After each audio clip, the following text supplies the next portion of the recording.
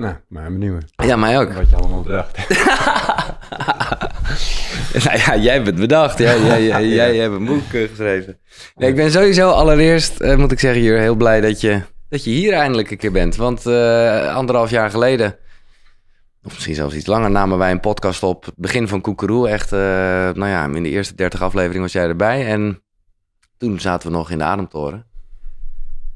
Sinds die tijd zijn we elkaar nooit uit het oog verloren. Ik heb geen webinar gedaan waar jij niet bij was. En eh, ook privé hebben we, eh, nou, eh, nou ja, wonen we ook bij elkaar in de buurt. En, maar eigenlijk was je nog nooit hier geweest. Nee, superleuk om hier te zijn. Ziet ja, andersom. Ik zie natuurlijk alle podcasts voorbij komen. Ja. Van oké, hoe zou dat er in het echt uitzien? nee, echt een, een super gave, inspirerende plek. Ja, hè? ja, dat Ja. vind ik ook. Eh, ja, ik zeg hier, het is Juriaan, dokter Juriaan. Ehm, of nou ja, ja, ja, Juriaan. Jij bent de liefde is je nieuwe boek, want wij hebben dus ook al een gesprek gehad. Dus heel erg jouw reis over, eh, nou ja, gewoon wie je bent. En eh, waar je hè, op een gegeven moment als, als huisarts en, en als sportdokter, zeg ik maar even lullig, besloten had van nee, ik moet echt mijn hart volgen. En nou ja, die reis, dit is, ja, dat komt ook zeker wel terug in jouw nieuwste boek. Maar dat gesprek hebben we al een beetje gehad. Ja, volgende hoofdstuk. Ja, volgende hoofdstuk, ja. Nou ja, eh, om het toch maar, want ik weet wel dat in de contacten die wij daarna hadden, dat ik altijd wel zoiets had van, en eh, na van klacht naar kans, wat echt een enorme bestseller is geweest, en nou ja, handige tools, zeg maar, ehm, heeft het toch best even geduurd voordat deze er kwam. Ja, ja, dan leggen we het langs de meetlat van de tijd. Ik denk Nee. eh, binnen twee jaar een nieuw boek is eh, ja, ja, dat- natuurlijk toch wel Ja, je hebt helemaal- je hebt helemaal gelijk. Ehm, maar dit boek heeft wel wat meer voeten in aarde gehad. Van klacht naar kans, dat, dat was er eigenlijk al. Dat is gewoon meer een methode die eh, ja, het was gewoon de training die ik iedere keer weer geef. Het enige wat daarvoor hoefde te gebeuren was om het gewoon te vertalen Ja. in een kloppend verhaal. En dit is eigenlijk echt vanuit, eh, vanuit het niks en nog meer vanuit mijn eigen ervaringen echt ontstaan. Ja, en hoe ga je dat dan in een, in een, eh, in een kloppend verhaal gieten? Ja. Dat was nog niet zo eenvoudig. Ook dat is overigens weer vanzelf weer tot stand gekomen. Maar had wat meer tijd nodig. Het heet Jij bent de liefde. Leven vanuit zelfvertrouwen, zelfrespect en zelfwaardering. En het gaat heel erg, en dat is ook wat ik van je ken, maar dat is iets waar ik iedereen die dit checkt nog, ja, er zijn een aantal dingen waarvan ik denk, oh, dat kan je niet vaak genoeg horen. Waarbij een belangrijke wel is dat er altijd een bereidheid moet zijn om pijn te lijden, om het ongemakkelijke aan te gaan. Dat is wel toch een soort hele basis, essentieel iets, als ik me niet vergis, toch? Ja, ehm, heel vaak willen we natuurlijk ongeschonden aan de finish komen. We willen het liefst zo snel, het liefst zo goed mogelijk door het leven heen bewegen, dat we niet beschadigd worden en dat iedereen ons lief, leuk en aardig vindt en dat we het heel erg goed doen. Maar ja, eh, de wereld is natuurlijk een hele mooie plek om te zijn, maar tegelijkertijd is die ook gewoon heel kil, ellendig en bij tijd en wijle verschrikkelijk alleen. En dan kan je daar je ogen wel voor sluiten, En net doen alsof het er niet is, ja. maar ja, dan word je continu geconfronteerd met de keiharde realiteit. Dus ja, wat mij betreft kan je maar beter voorbereid zijn. Ja. Nou ja, en dus vooral niet eh, proberen dat niet aan te gaan. Op een gegeven moment schrijf jij, en dat dacht ik echt, oh, daar zijn we toch allemaal wel heel erg, eh, zonder dat we dat beseffen, mee bezig. Dat eigenlijk je verlangen tot groei en ontwikkeling, iets wat we allemaal van nature hebben, dat dat dan verschuift naar angst om iets kwijt te raken. Ja, En dat is ja, super logisch dat dat wel gebeurt, toch? Eh, ja ik ben net zo slecht en fout als ieder ander. Ik, bedoel, ik heb dat ook. En volgens mij kan je dat maar beter waar laten zijn. Dat je zegt van, wow, ik ben, eigenlijk maak ik hier een keuze omdat ik verschrikkelijk bang ben om dit te releasen. Want op het moment dat dat op tafel ligt, dan gebeurt er natuurlijk iets magisch. Want dan krijg je opeens de mogelijkheid om te zeggen van, oké, of ik kies ervoor en dan betaal ik een prijs. Of ik kies er niet voor, maar ja, dan betaal ik een andere prijs. ja. Dus welke prijs ga ik betalen? En dus ook, nee, dit is wel, dit is een mooi, dat, het komt regelmatig terug en ik ken dat ook heel erg van jou. Er is geen goed of fout, maar maak een keuze. Of wees bewust van, van hoe je ergens in staat. En dat kan, hoeft dus niet altijd het goede te zijn. Of hoe zeg je dat? Eh, ethisch verantwoord, wat je, wat je net zegt. Tuurlijk ben je gewoon bang. Ja. Kan je bang zijn, laat ik het zo zeggen. Ja, en mag je bang zijn? Hmm. Heel vaak hebben we natuurlijk zoiets van, ja, eigenlijk wil ik dat niet voelen, want het is ongemakkelijk en ik wil het wel kunnen en ik wil het wel weten en ik wil gewoon zeker zijn van mijn zaak en ik wil zeker weten dat ik een goede keuze maak. Maar ja, iets in jou is gewoon bang. Ja. En mag dat er dan zijn? Als je, de vraag die ik vaak stel is, wil je meer of minder in verbinding zijn met wie jij bent? Nou, dan- ben nog nooit iemand tegengekomen die zegt van, nou, dat wil ik niet. Dus dan zeggen ze van, ja, eigenlijk wil ik meer in verbinding zijn met wie ik ben. Oké, en als iets in jou dan bang is of onzeker, wanneer kom je dan meer met jezelf in verbinding? Door te zeggen van, wauw, dat is ongemakkelijk, dat wil ik niet, wegwezen hier. Of door dat deel uit te nodigen, daar geïnteresseerd in te zijn en misschien zelfs wel nieuwsgierig daarnaar te zijn. Maar dan kom je op iets wat ik altijd heel eh, spannend vind. En ook een beetje eh, ongemakkelijk van word. Nou ja, op zich is dat goed, zou je zeggen. Maar dat je dus, hè, wat jij nu ook zegt, is een bepaalde mildheid ook naar jezelf. Van, hé, hey, laat het gewoon zijn in plaats van gewoon dat je eroverheen wilt denderen. En, en ja, dat je dus eigenlijk meer uit verbinding raakt. Maar mildheid en wat jij op een gegeven moment, ik denk dat iedereen wel begrijpt wat je ermee bedoelt, de mantel der liefde dat, ik ben altijd zo bang dat ik meer in die, in die mantel der liefde zit. En dat je er gewoon zegt, nee, eh, ja, hoort erbij, is nu eenmaal zo. Ja, snap je? Ja, dit is misschien het is heel erg een taalding ook weer. Maar dat is vaak wel even duidelijk om ook in je hoofd dat, eh, dat verschil te zien. Wat is het verschil tussen mildheid en de mantel der liefde? Nou, ehm, daar zit een, natuurlijk een grote dualiteit in. Aan de ene kant wil je het liefst zo... ehm, eh, je wil gezien worden en erkend worden en gewaardeerd worden voor de persoon die je bent. Uit angst om iets te verliezen, namelijk de verbinding met de ander, ga je je dus aanpassen en gedragen. Mhm. En de prijs, in de hoop dat je gezien wordt. En de prijs die je daarvoor betaalt, is dat je dus opgaat in de massa en onzichtbaar wordt. Nou, wat we dan doen om toch een beetje onszelf te zijn, of dat we zelfs als we een verkeerde afslag nemen, dat we zeggen van oké, ik wil daar, ik wil daar mild zijn naar mezelf. Ehm, dus ik kies ervoor om, ehm, ik mag dit doen, simpelweg omdat ik nou eenmaal zo ben. Of om, ik moet mezelf toch kunnen waarderen voor wie ik ben. Of eh, ik moet toch authentiek kunnen zijn. Ja. Ook een beetje, Maar- ik, ben, ik ben nou eenmaal zo. Ja, ja. maar dat is geen mildheid. Dan ben je de boel aan het manipuleren. Dan ben je, dan ben je het aan het saboteren. In plaats van dat je zegt van oké, ik heb hier een verkeerde afslag genomen. En wat we vaak dan doen is dat we dan heel streng voor onszelf zeggen, worden en zeggen van nou, ik ben hier een fout mens, dit had ik niet mogen doen. In plaats van dat je gewoon erkent dat je precies dat bent, een mens. Dus je neemt af en toe een verkeerde afslag. ja. En je maakt fouten in je leven. En dat je die gewoon op tafel legt en gewoon erkent van... wow, ik heb hier een verkeerde afslag genomen. Ik ben super onredelijk tegen je geweest en dat heb je niet verdiend.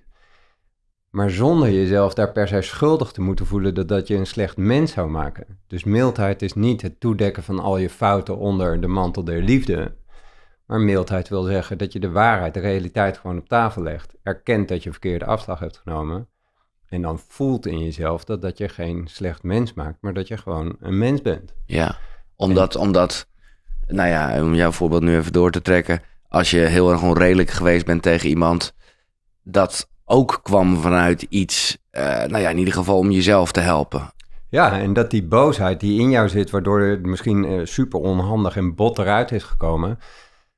Ja, zou het zo kunnen zijn dat die boosheid in essentie wel heel erg goed is voor jou. En natuurlijk is het dan de kunst om te leren, gaandeweg het leven, om die boosheid wel te voelen. En dan te voelen wat daar eigenlijk gewild wil worden. En dat op een zodanige manier te communiceren dat je nog wel in verbinding kan blijven. In plaats van dat je de muur optrekt, een bom onder de relatie legt en verdwijnt. Mhm, mhm. Maar eh, kijk, jij zegt dit net even en eh, ik vind het mooi hoe het boek echt begint met iets waar, nou ja, van ik zelf dan denk, oh ja, dat vergeet je bijna een beetje. Dat we allemaal geboren zijn en daarmee eigenlijk hebben we al, hè, noem je dat, geboorterecht, bestaansrecht. Ja, bestaansrecht. Ja. Eh, dus eigenlijk, even flauw gezegd, is het, is het al goed? ja, dat is iets wat we ons nooit realiseren. Maar jij zegt het net ook, we zijn altijd toch wel op zoek naar die bevestiging en dus die verbinding van een ander. En dan heb jij het op een gegeven moment over de giftigheid van loyaliteit. ja. En dat, eh, ja, kan je dat uitleggen? We hebben geleerd om loyaal te zijn. Eh, loyaal naar je ouders, loyaal naar je kinderen als die er zijn. ehm, loyaal naar je werkgevers, je werknemers, je collega's, vrienden, et cetera. En door maar zo heel erg graag loyaal te willen blijven aan de ander, ook weer in de hoop om gezien, erkend en gewaardeerd te worden, kan het dus zijn dat we een plek innemen die niet meer oprecht is. Dus we gaan dingen doen en zeggen die we eigenlijk niet willen, omdat we vinden dat we loyaal moeten blijven. Wat er dan gebeurt, is dat we dus in een soort theater terechtkomen. Namelijk dat we niet onszelf daadwerkelijk laten zien, maar dat we een soort spel gaan opvoeren. Mm. nou, ik ga maar zo bewegen, want dan ja, word ik misschien leuk, lief en aardig gevonden. Ook weer uit angst om de relatie met de ander te verliezen. In plaats van dat je ervoor kiest om een oprechte plek in te nemen. Dat je zegt van ja, dit is wie ik ben. Ik doe wat ik verkondig. Ik ga staan voor wat ik vind, voor wat ik denk en voor wat ik voel. Maar ja, het risico wat ik dan loop, is dat ehm, iemand dat niet leuk gaat vinden. Ja. Het is niet de vraag of ik daar gekwetst gaat worden, maar wanneer. En het is niet de vraag of ik beoordeeld ga worden, maar wanneer. En ehm, zo kan loyaliteit dus enorm giftig worden op het moment dat je dan dus eigenlijk niet meer weet van ja, maar met wie heb ik nou eigenlijk te maken? Je wordt eigenlijk doordat je geen betrouwbare plek inneemt, word je onbetrouwbaar en vooral onbetrouwbaar naar jezelf toe. Ja. Wat als je het met mildheid bekijkt wel weer heel logisch is dat je het doet. Hè? In, in, in de, de drang naar verbinding. Maar voor jezelf en daarmee ook voor de, voor de, voor de anderen, eh, ja, verzuur je het. Of, eh, nou ja, Ja, het, het werkt niet. Nee. Want ehm, je gaat daarmee al je relaties belasten met de plicht om jou per se te moeten erkennen en waarderen. Ja. En dat is niet de plicht van de ander. In ieder geval niet in mijn ogen. Maar laten we het even helemaal stuk slaan met een makkelijk voorbeeld wat we allemaal kennen. Dat is eh, dat iemand je vraagt om naar een verjaardag te komen. Het is een goede vriend. En dan, ja, uiteindelijk, ik, ik snap dat je altijd gewoon maar moet luisteren naar, naar nou ja, een beetje nou, hart en hoofd, de, combinatie zou ik zeggen. Maar dan kom je, want je eigenlijk wil je niet echt naar die eh, verjaardag. Want ja, het is gewoon ongemakkelijk. En je kent misschien een paar mensen waar je helemaal geen zin hebt om die eh, te ontmoeten. Ehm, dus als je puur naar jezelf zou kijken, dan zou je zeggen, eh, ik ben er niet bij.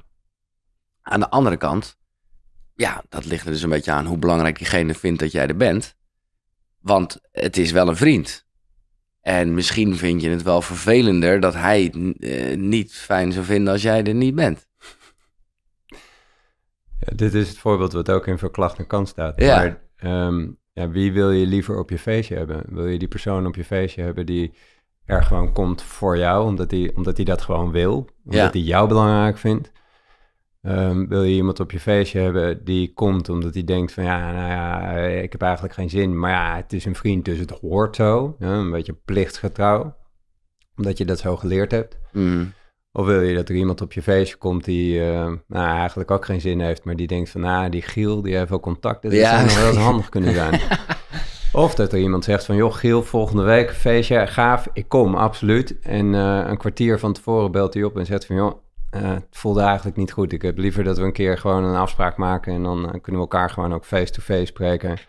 En ehm, ja, wie wil je op je feestje hebben? En ik kies er dan liever voor om of diegene die gewoon komt omdat hij wil komen, of diegene die desnoods een kwartier van tevoren afbelt. Omdat ik dan in ieder geval ervan uit kan gaan dat als die er wel is, Ja. dat, ik, dat hij dan ook echt voor mij komt. Ervan uitgaande dat hij ook de vrijheid voelt om het af te zeggen als het voor hem of voor haar niet kloppend eh, Ja. is.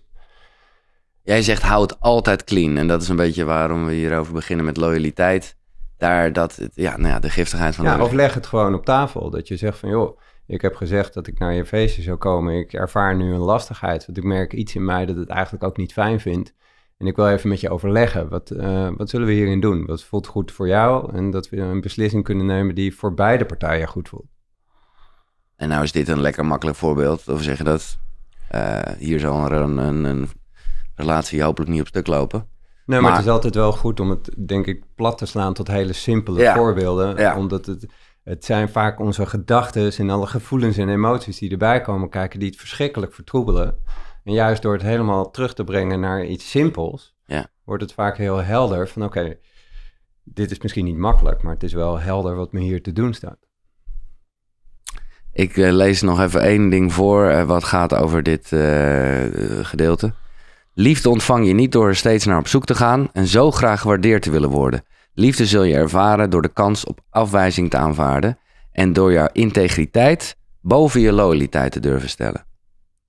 En nou ja, dat is iets wat ik ook weet van jou als mens en wat, wat nou ja, dat integriteit en authenticiteit, ja dat, eh, ja, dat zijn de belangrijkste waarden, denk ik. Nou, voor mij wel. Ja. Een, van, mijn- en, eh, een van mijn grootste inzichten was dat ik eh, me realiseerde dat ik gewoon niet oprecht ben. En tot op de dag van vandaag niet. En daar, ja, nee, maar dit is, dit, dit, dit, ja, maar hoe heb je daar vrede mee, man? Ja, Omdat, omdat, Omdat ik een mens ben. Ik, Ja. ik ben niet perfect. Nee. weet je. Laat dat gewoon waar zijn. We kunnen wel ja, zeggen van ja, ik ben de goedheid zelf en ik, ik ben de liefde. Ja, dat ben je ook. Maar we hebben ook allemaal in ons een, groot monster. En eh, je kan dat monster maar beter gewoon waar laten zijn en op tafel zetten, zodat, je, zodat het niet onverwachts voorbij komt of je het iedere keer probeert weg te duwen. Nee, maar dat je het ziet staan en dat je van daaruit een keuze krijgt van oké, ga, ik, ga ik met dit monster aan de haal of ga ik hier een andere keuze maken? Ehm, daar heb je echt een keuze. En vaak, om weer terug te komen op wat we net zeiden, vaak willen we dat niet voelen, willen Nee. we dat niet zien. Waarom? Omdat we zo graag leuk, lief en aardig gevonden willen worden. Dus we stoppen het onder tafel, doen net alsof het er niet is. ja. Maar ja, vroeg of laat komt het toch echt snoeihard bij je op de deur kloppen. Maar ik vind het, eh, ja. En ik zeg ook niet, ik bedoel, het is heel duidelijk hoe je het zegt. Natuurlijk heb jij wel de intentie om het beste mens of, eh, van de wereld te zijn. Maar je bent het niet. Nee. Als ik zeg tegen Simone van eh, je bent de liefste vrouw voor mij en ik, eh, ik hou verschrikkelijk veel van je. En eh, na een dag werken, dat we elkaar niet gezien hebben, komt ze thuis en ik zit nog aan de tafel. Zit ik nog een mailtje te tikken en ze komt binnen en ik kijk niet op of om, want ik vind dat ik eerst dat mailtje af moet maken. Dan heeft zij helemaal niks aan mijn mooie en goed bedoelde woorden. Dus ik heb daar een oprechte positie in te nemen. Ja. Dat ik doe wat ik verkondig. En op het moment dat ik van mezelf weet, oké, ik ben niet een oprecht mens, maar ik wil er wel naar streven om een zoveel mogelijk oprechte plek in te nemen. Du moment dat ik dat dan dus niet naar op of om kijk, reken maar dat er iets in mij gaat knagen. En denk van, wow, maar dit is niet in lijn met wat ik verkondig. En juist door dat waar te laten zijn, ben je in staat om bij te sturen en te zeggen, wow, ik heb hier, ik heb helemaal niet naar je gekeken toen je binnenkwam. Ja. En, eh, maar dat is niet de plek waar ik vandaan wil komen. Want je bent voor mij onwijs belangrijk in Ja. mijn leven. Dus eh, ik had hier beter even mijn laptop dicht kunnen klappen en je de aandacht kunnen geven. En ik, ik zie in dat ik je hier misschien wel gekwetst heb. Ja. Een supermooi voorbeeld. Maar het eh, gaat waarschijnlijk pas knagen op het moment eh, dat zij dit, hoe zeg je dat, het, eh, op tafel brengt. Want Ja. je hebt het natuurlijk zelf in eerste instantie, neem ik aan, niet door. Het is geen... Nee, precies. Dus die ander die haalt uit, of die in de lichaamstaal Ja, ja. zie je opeens, nou ja, we kennen allemaal de dodelijke blikken van onze partner, waarbij je dan ook nog vraagt, is er iets? En de ander zegt, nee hoor, er is niks, maar je weet al lang dat er iets aan de hand is. En wat er dan natuurlijk gebeurt, is dat de liefde voor de ander verschuift naar gelijk krijgen en overtuigen. Mm. Ja, maar zo bedoelde ik het niet. Ja, maar eh, ik moest dat mailtje er echt even uitdoen, want het is toch mijn werk. En jij wilt toch ook dat we een goed lopend bedrijf hebben? Maar daar gaat het niet om. Het feit is dat de ander zich even niet gezien voelde. En je kan, dat, je kan de ander pas zien op het moment dat je jezelf kan verduren in de verkeerde afslag die je zelf hebt genomen. Ja. Dat je zegt van, joh, ik begrijp dat dat pijnlijk voor je is. Hoe is dat voor je? Ja. En, eh, En dat- dus dan nog ook niet eens, want dat is inderdaad wel een neiging die ik zelf ook heb, dat je er toch aan wil toevoegen dat je het niet zo bedoeld hebt. Ja, en daar koopt de ander natuurlijk echt helemaal nou, geen reet voor. Nee. Die wil Nee. alleen maar horen van, wow, wat, eh, hoe is dit voor je? En eh, dat moet, Ja. volgens mij, ik kan me voorstellen dat het even heel alleen voelde. Ja. Dus, ga, dus doe geen enkele moeite eh, om te verklaren, omdat je alleen maar het voor jezelf goed zit te praten, in plaats van dat je die andere erkent in het gevoel dat hij of zij heeft. Ja, en dat jij in de ogen van de ander op dat moment een dader bent. Ja. Je bent gewoon de kwetser op dat moment en die plek nemen we allemaal in. Ehm, Ja. Onbedoeld kunnen we de plek van kwetser innemen. Dat maakt je geen slecht mens. Het maakt je juist precies datgene wat je bent. Een mens. Kwetsen en gekwetst worden hoort bij het leven. En dan kan je wel gaan proberen om dat zoveel mogelijk te ontwijken. Maar daarmee, daarmee ehm, wil je de realiteit verbuigen. Je wordt gekwetst. Het is niet de vraag wanneer. Of het is niet de vraag of je gekwetst wordt, maar wanneer. Ja. En nu in die specifieke voorbeeld, ik ben even benieuwd hoe het bij jou thuis gaat. Want ik kan me ook bijna voorstellen dat, ja of niet, maar dat zij bijna gek wordt van jouw relaxte manier van dit, uh, nee, niet zozeer oplossen, maar nou, ja, maar meer gewoon haar erkennen. Ik zou bijna zeggen, soms wil je ook gewoon even gedoe, of niet? Ja, denk maar niet dat het bij ons... no way. Ja, nogmaals, ik ben net zo slecht ja. als ieder ander. Bij mij klapt het ook af en toe en haal ik ook uit op een super onredelijke manier. Ehm, maar de weg is altijd naar jezelf daarin niet fout maken. Um, weet je, zolang je niemand een mes tussen besteekt, is er echt niks aan de hand. En ik heb liever, weet je, boosheid en frustratie en de onrust die we in ons kunnen voelen. Dat wil in principe zeggen van, oké, ik wil iets en het krijgt niet de kans om gezien of uh, tot expressie te komen. En boosheid is dus niet gericht zozeer tegen de ander, maar het is er voor jou. Dat je, dat je jouw willen ja. tot expressie kan brengen. Ja, zo, ja. En op het moment dat we onze boosheid niet uiten, ja, dan slaat het naar binnen toe. En dat maakt je absoluut ziek. Dus ik heb liever dat je heel erg bot en onhandig een keer uit de hoek komt. Uh, en daar echt uh, ver, ver uit de bocht gaat. En dat je vervolgens daarna weer bijstuurt. Dat is veel waardevoller dan iedere keer het maar onder tafel proberen te drukken om opnieuw um, ja, maar een zo goed mogelijk mens te willen zijn. Want dat ben je gewoon niet. Je bent niet perfect. Nee. En dat is precies hoe het hoort te zijn. Want het stelt je in staat om te kunnen leren, groeien en ontwikkelen. Ja. En dat ook weer niet. Hè, dit, dit, nogmaals, dat, dat moet ik de hele tijd tegen mezelf zeggen. Daar ook niet mee akkoord gaan en denken: Yo, ik ben geen goed mens. Dus. Uh... Nee, dan saboteer je de boel. Ja, dus dat is een heel dun lijntje van oké, waar draagt dit nog bij aan de relatie tussen mij en mezelf? En waar uh, ben ik de boel aan het manipuleren, zodat ik de echte realiteit niet aan hoef te kijken? Nou, dat is, een, dat is een, iets wat continu in beweging is. Ja. Nee, dat vind ik ook mooi en dat kennen we allemaal wel. Uh, nou ja, hè, dat balans sowieso continu in beweging is. En jij maakt een mooie vergelijking met zo'n Je dat een tuimelaar, zo'n poppetje? Ja, zo'n poppetje met zo'n bolle onderkant. Ja, precies, die zo heen en weer gaat. Maar wij willen allemaal eigenlijk, bom, uh, hè, dat voelt steady. Maar dat is het natuurlijk eigenlijk niet. Want dat is, is ook weer niet de werkelijkheid. Nee, is dat poppetje met die platte onderkant omlazert. Uh, ja, en dan komt hij never nooit vanzelf overeind. Nee. Dus je kan maar beter, ja, je kan maar beter een tuimelaar zijn. Ja. Dat je uh, bij het minste zuchtje al heen en weer beweegt. Dus ja, laat je ook raken. Veel mensen die zeggen van, ik wil niet geraakt worden. Hoe kan, kan je mij leren om, dat, ik wat, uh, ja, dat het me niet zo, niet zo bij me binnenkomt? Ja, laat je alsjeblieft wel raken. Ja. Nou ja, ik weet dat wij ook in, in, in sessies veel meer... Uh, nou ja, daar aan die kant hebben gewerkt. Zo van, laat het, laat het inderdaad binnenkomen in plaats van ja, of je het nou een freeze noemt of een muur of whatever. Uh, maar dat, dat voelt veilig. Maar ja, nou Ik wil nog even iets zeggen over dat oprecht. Want dit is eigenlijk uh, in één zin wat jij net zegt. Oprecht betekent dat je voeten dezelfde richting lopen als je mond praat.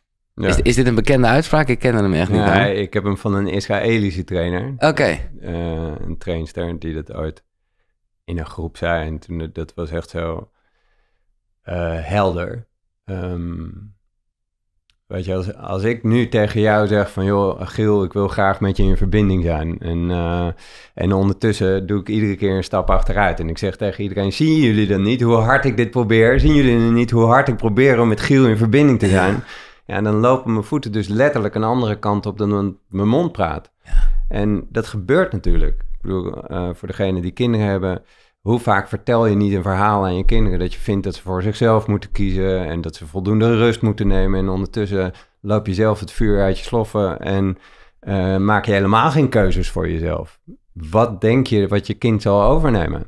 Die nemen natuurlijk over wat ze zien en niet wat je iedere dag weer met de beste intentie, mm. dat is het droevige in het verhaal, ja. met de beste intentie iedere dag weer loopt te verkondigen. Maar ja, een oprechte plek is dus spannend. Want als jij echt gaat doen wat goed en klopt is voor jou, ja, er zullen altijd mensen zijn die uh, het niet met je eens zijn. Nee. Dus je gaat nooit de hele wereld tevreden stellen. Dat is de zekerheid. Hè, zoals we ook allemaal weten dat we onzeker... Dat, die heb ik wel eh, tot in mijn vezels, wat me heel ja, rust geeft. Een soort zekerheid dat ik onzeker ben. Maar dat zeg jij eigenlijk ook over een, ja, over, eh, over een goed mens zijn. Wees gewoon eigenlijk zeker van het feit dat je, nou ja, dat in essentie wel bent. Maar in je daden sowieso lang niet altijd. Nee, en je, soms, soms kan het lastig zijn om te voelen wat voor jou het goede is. En dat je denkt van, ja, eh, ik Moet wil ik dit, heel moet ik graag, dat? maar Ja. ik, weet Ja, niet, ik weet niet precies hoe dat eruit ziet. Maar je weet het en voelt het wanneer er iets niet klopt. Je voelt het aan je lijf. Je weet het ook wanneer je een verkeerde afslag neemt doordat je een leugentje vertelt, ook al is het om bestwil. En juist het laatste, een leugentje om bestwil, daarmee dekken we het dus toe. Nemen we geen oprechte plek in, worden we onbetrouwbaar en saboteren we de relatie. Ja. Maar zeg jij eigenlijk dat je, als je echt goed naar binnen kijkt, niet kan liegen tegen jezelf? Nou, Je kan wel liegen tegen jezelf, maar je kan niet de realiteit ontwijken. Want op het moment dat jij gaat liegen, dan, de- dan is dat een arrogante plek die we allemaal in kunnen nemen. Mhm. Waarbij we zeggen van nou, ik kan de realiteit wel in mijn voordeel verbuigen. Ja, op korte termijn misschien, maar vroeg of laat tikt de realiteit toch echt wel ergens bij je op de deur. En als je mazzel hebt, dan grijpt hij je dan in je nekvel. Maar heel veel vaker word je gewoon genadeloos tegen het asfalt geslagen. Ja. En ook dan is er niks aan de hand, want dan, eh, ja, je lijf is er voor jou. Dus als je dan in staat bent om te zeggen van, goh, wat zou mijn lijf me nu willen vertellen? Wat zou ik mogen veranderen in mijn leven? En dan krijg je opnieuw de kans om bij te sturen. Ja. Maar we kennen dat allemaal. eh, dat, je, nou ja, dat je vooral zeker weet dat het niet goed voelt. Maar dat je nog niet helemaal weet of je nou eh, links of rechts moet. En daar kan ook wel best wel een verschil in zitten tussen hart en hoofd. Wat ik leuk vind is dat jij... Ik heb hier wel mensen aan tafel gehad die heel erg... eh, en ik denk dat het goed is eh, om daar extra nadruk op te geven... dat je heel, heel erg naar je hart moet luisteren. Maar jij bent ook wel gewoon iemand die zegt... ja, maar het hoofd moet er ook zijn. Als je altijd zegt van ja, ik moet naar mijn hart luisteren of naar mijn onderbuik of naar mijn gevoel, eh, dan wijs je continu je hoofd af. Maar je hoofd heeft ook iets goeds voor jou. Ja, ons denken is super waardevol, ehm, maar het is precies dat. Het is waardevol. Het wil niet zeggen dat het de waarheid is. Maar hetzelfde geldt voor je gevoelens. Als je weet dat meer dan 90% van, of eigenlijk alles wat jij denkt, heeft invloed op hoe jij je voelt. Ja. Dus als meer dan 90% van jouw gedachten niet waar zijn, hoe betrouwbaar zijn dan je gevoelens?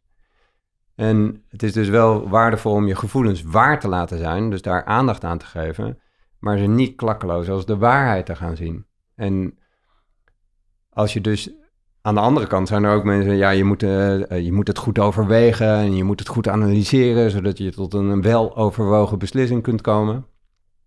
Ja, dan wijs je iedere keer weer je gevoel af. Ja. Dus hoe zou het zijn als je zowel je gevoel als je hoofd, je gedachten zo eh, figuurlijk op tafel legt en daar, ehm, daar van een afstandje naar gaat kijken, zodat je tot een gedeelde beslissing kan komen. Ja. Waarbij je dus ook het alle twee eh, gezond in twijfel kan trekken. Zo van, is dit... eh, dat lijkt me wel, ja. Ja, ja, ja. Ja. Lijkt mij heel waardevol om af en toe je gevoelens en ook je gedachten even, maar hoe waar is dit eigenlijk? Maar ja, hoe doe je dat? Nou, precies met deze vraag. Ja, Oké, wat ik nu voel. Oké, wat wil me dat eigenlijk vertellen? Oké, hoe waar is dat?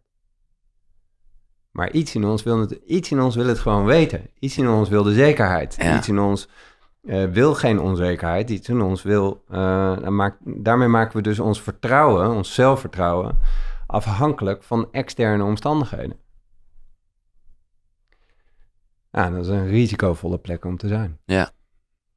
en een oplossing, hè, om toch maar even heel oplossingsgericht te denken, zit hem vaak niet, hè, le- komt regelmatig terug in je boek, in op dat moment een besluit nemen, maar dat ook gewoon een beetje over te laten aan wat er gebeurt. Ik weet niet of ik het goed uitleg. Nou, te durven vertrouwen op die onzekerheid. Ja, En ook dit is weer niet statisch natuurlijk, want, eh, want waar draagt achterover hangen in je hangmat liggen en eh, nou, ik zie wel wat er op me afkomt, waar draagt dat nog bij aan de relatie tussen jou en jezelf? En waar wordt het een escape om niet gewoon de noodzakelijke beslissingen te nemen?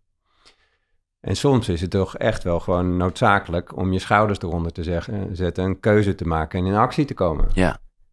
Met het risico dat je een foute tussen aanhalingstekens foute beslissing neemt. Ja, of in ieder geval eentje waar je later op terug... Uh, ja, die anders uitpakt dan dat je gedacht, gehoopt of gewenst had. Nou, ga je jezelf dan fout maken? Of ga je zeggen van, hé, hey, stel nou dat dit er is voor mij. Wat zou ik hieruit kunnen leren, zodat ik kan groeien en ontwikkelen?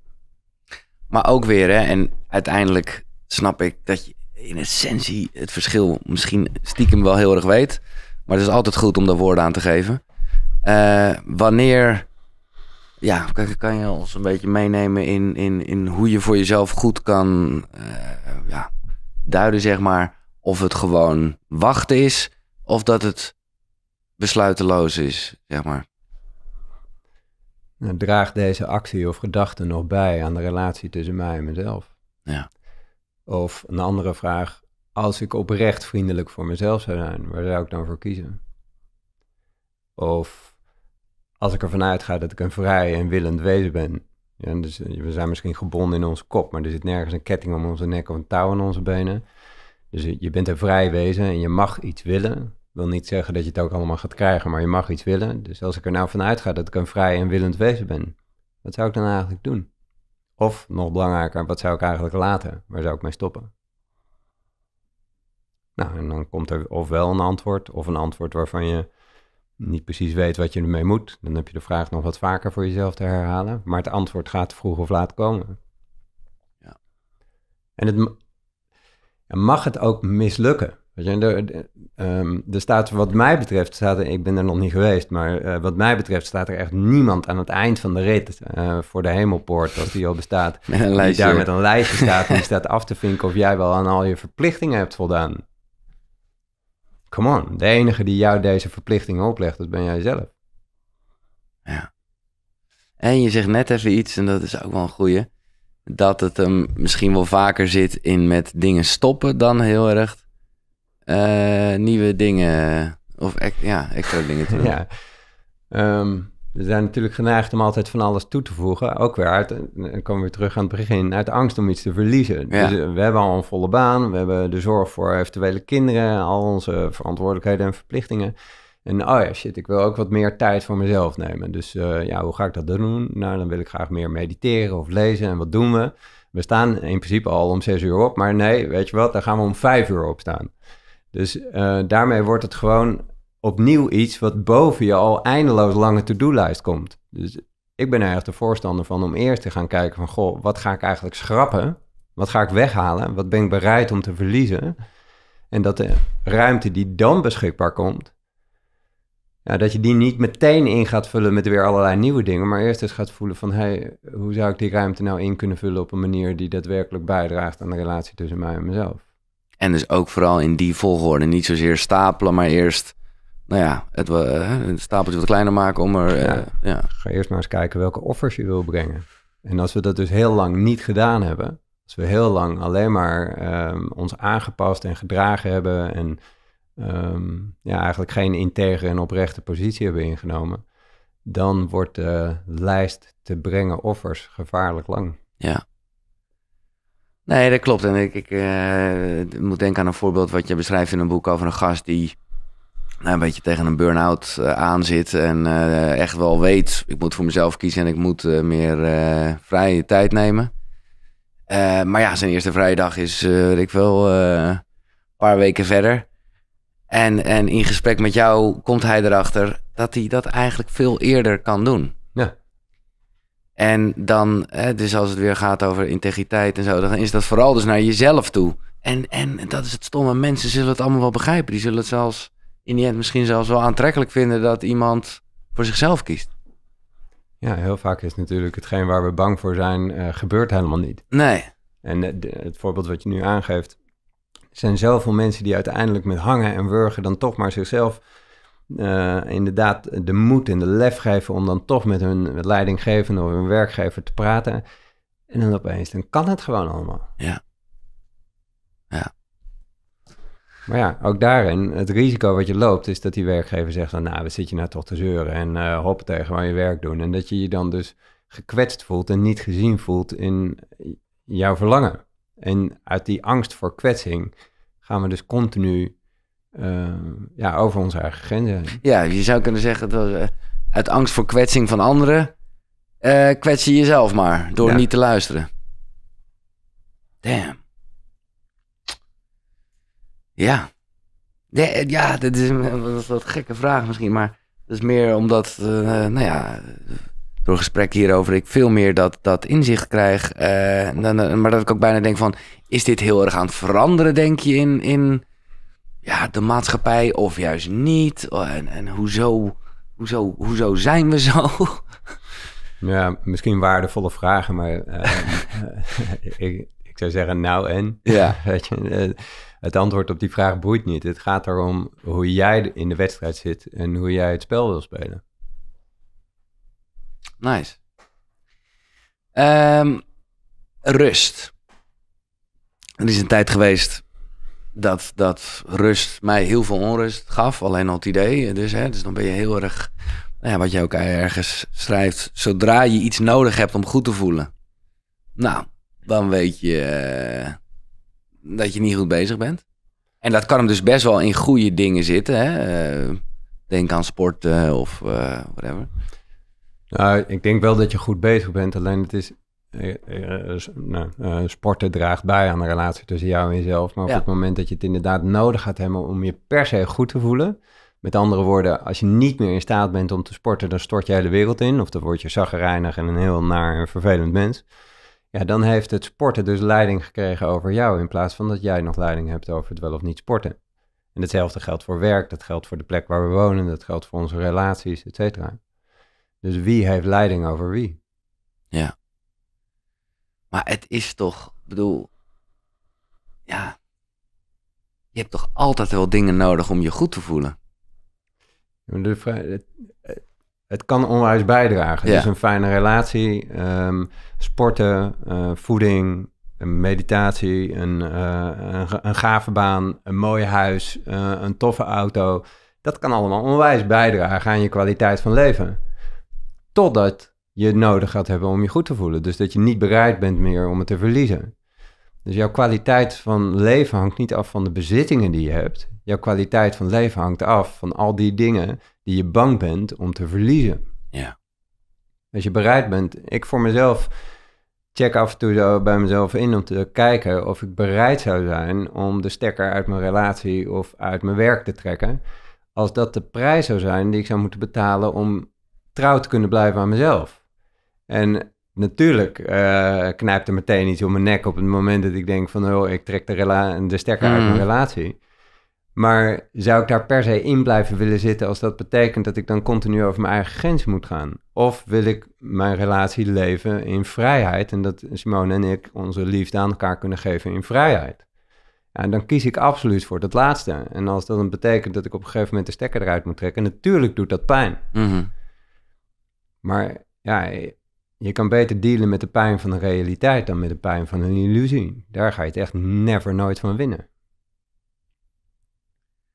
En dit vind ik echt mooi, want eh, dat is ook een beetje het proces waarin ik zit, waarbij structuur mij heel erg eh, geholpen heeft en nog altijd helpt. Dus niet dat ik daar eh, dat ik totaal geen structuur meer heb, maar ik zeg heel eerlijk, dat ja, komt toevallig een beetje te sprake in de afgelopen afleveringen.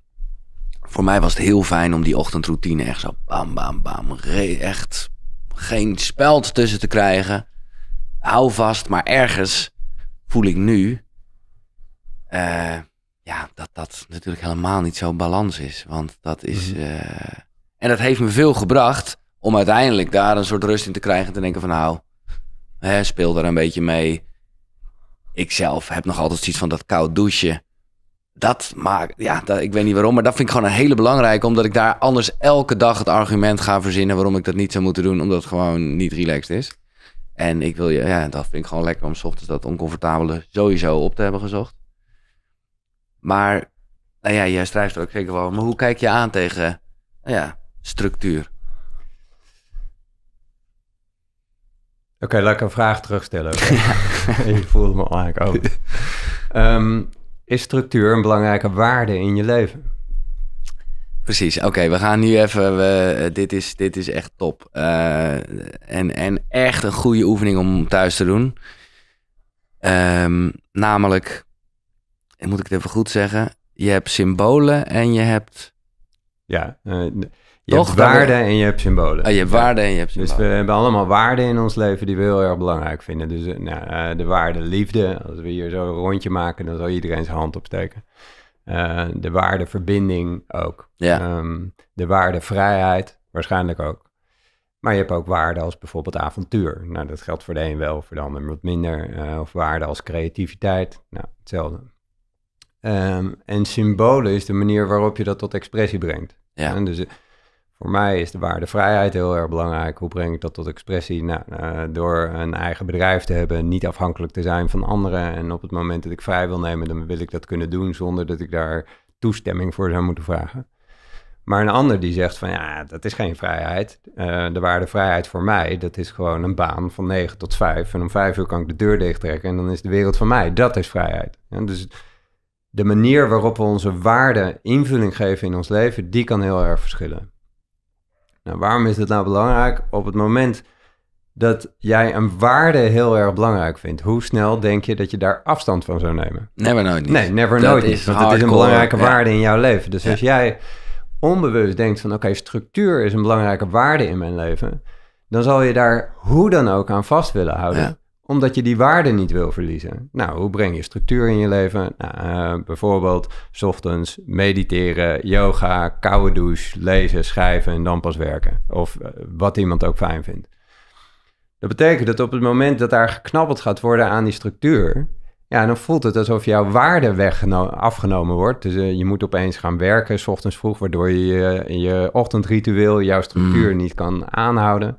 En dan voelt het alsof je iets ontnomen wordt. Maar de vraag is nu, die structuur, wat levert het jou op? Nee, nou ja, dat is een goeie.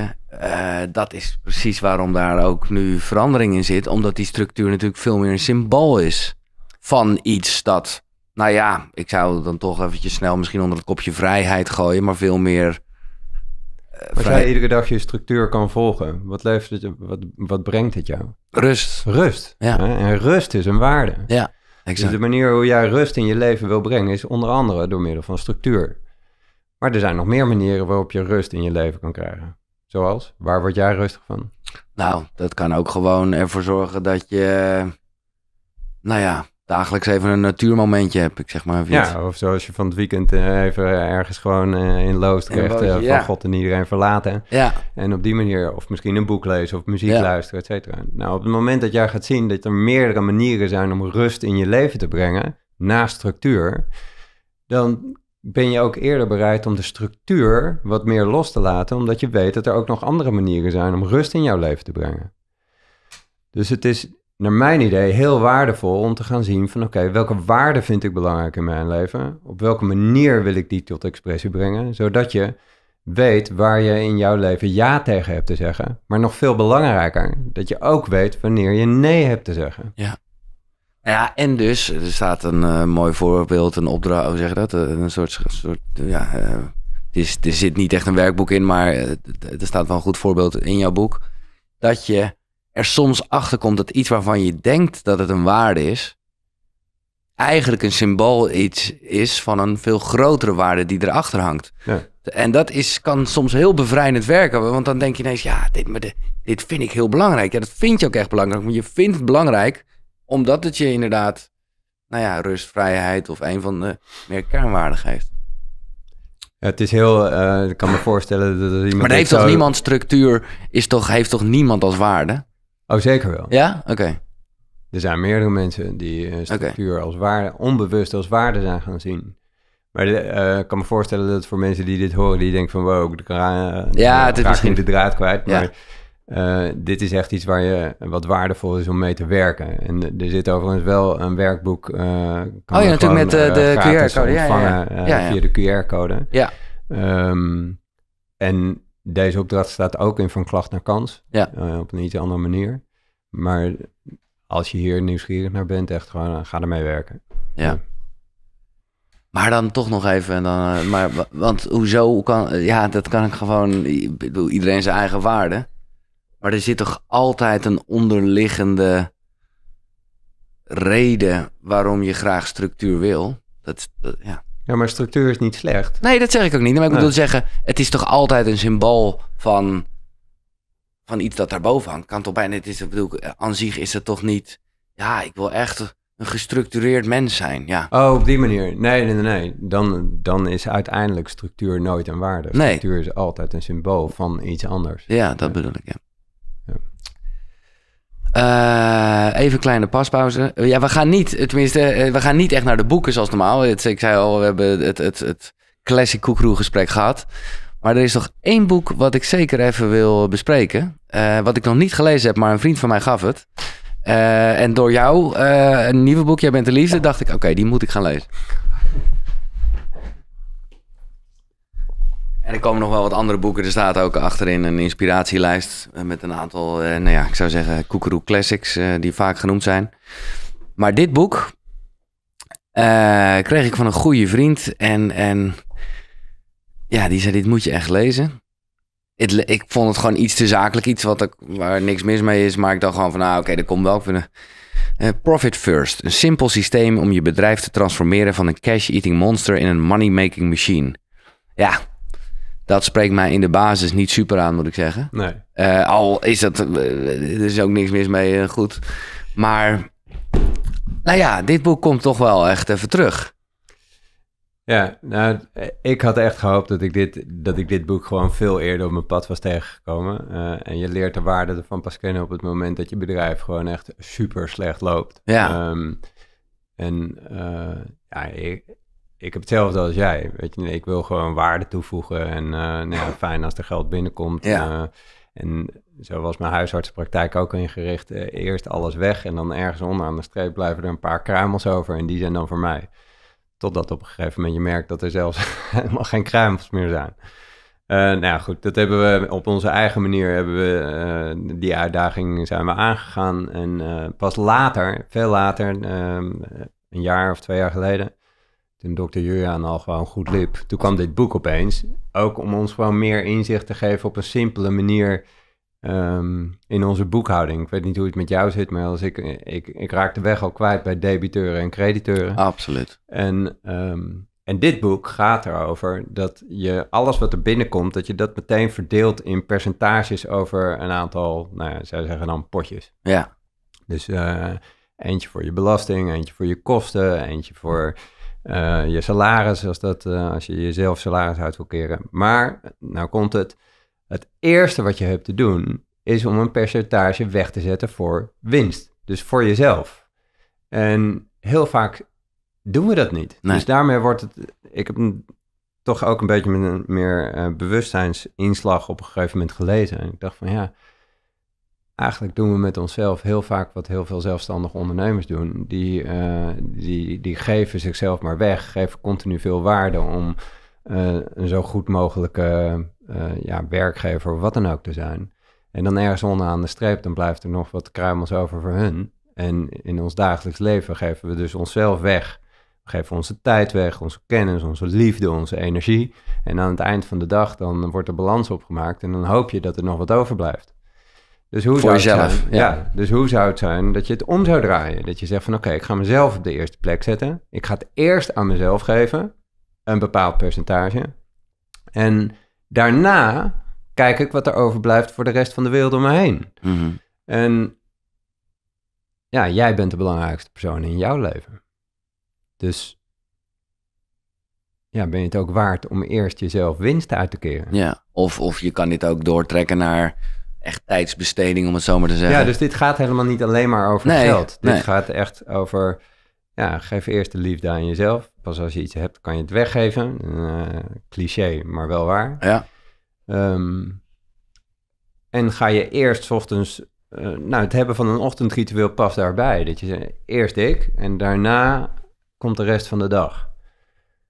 En ik denk dat dat een hele gezonde instelling is. Mhm. En dat je dan nog steeds in staat bent om juist vanuit die plek er heel goed voor een ander te zijn. En in mijn ogen, uit mijn persoonlijke ervaring, maar ook wat ik om me heen zie gebeuren, uh, kan je er dan zelfs nog veel beter zijn voor een ander.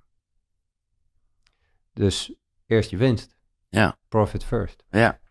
En nogmaals, dit dan, daarom vond ik het zo leuk en dacht ik, oké, dan uh, hoef ik het niet alleen maar uit zakelijk oogpunt te lezen, wat ook overigens ik wel zou moeten doen, maar dan kan ik hem wat breder trekken naar, naar het leven eigenlijk dus.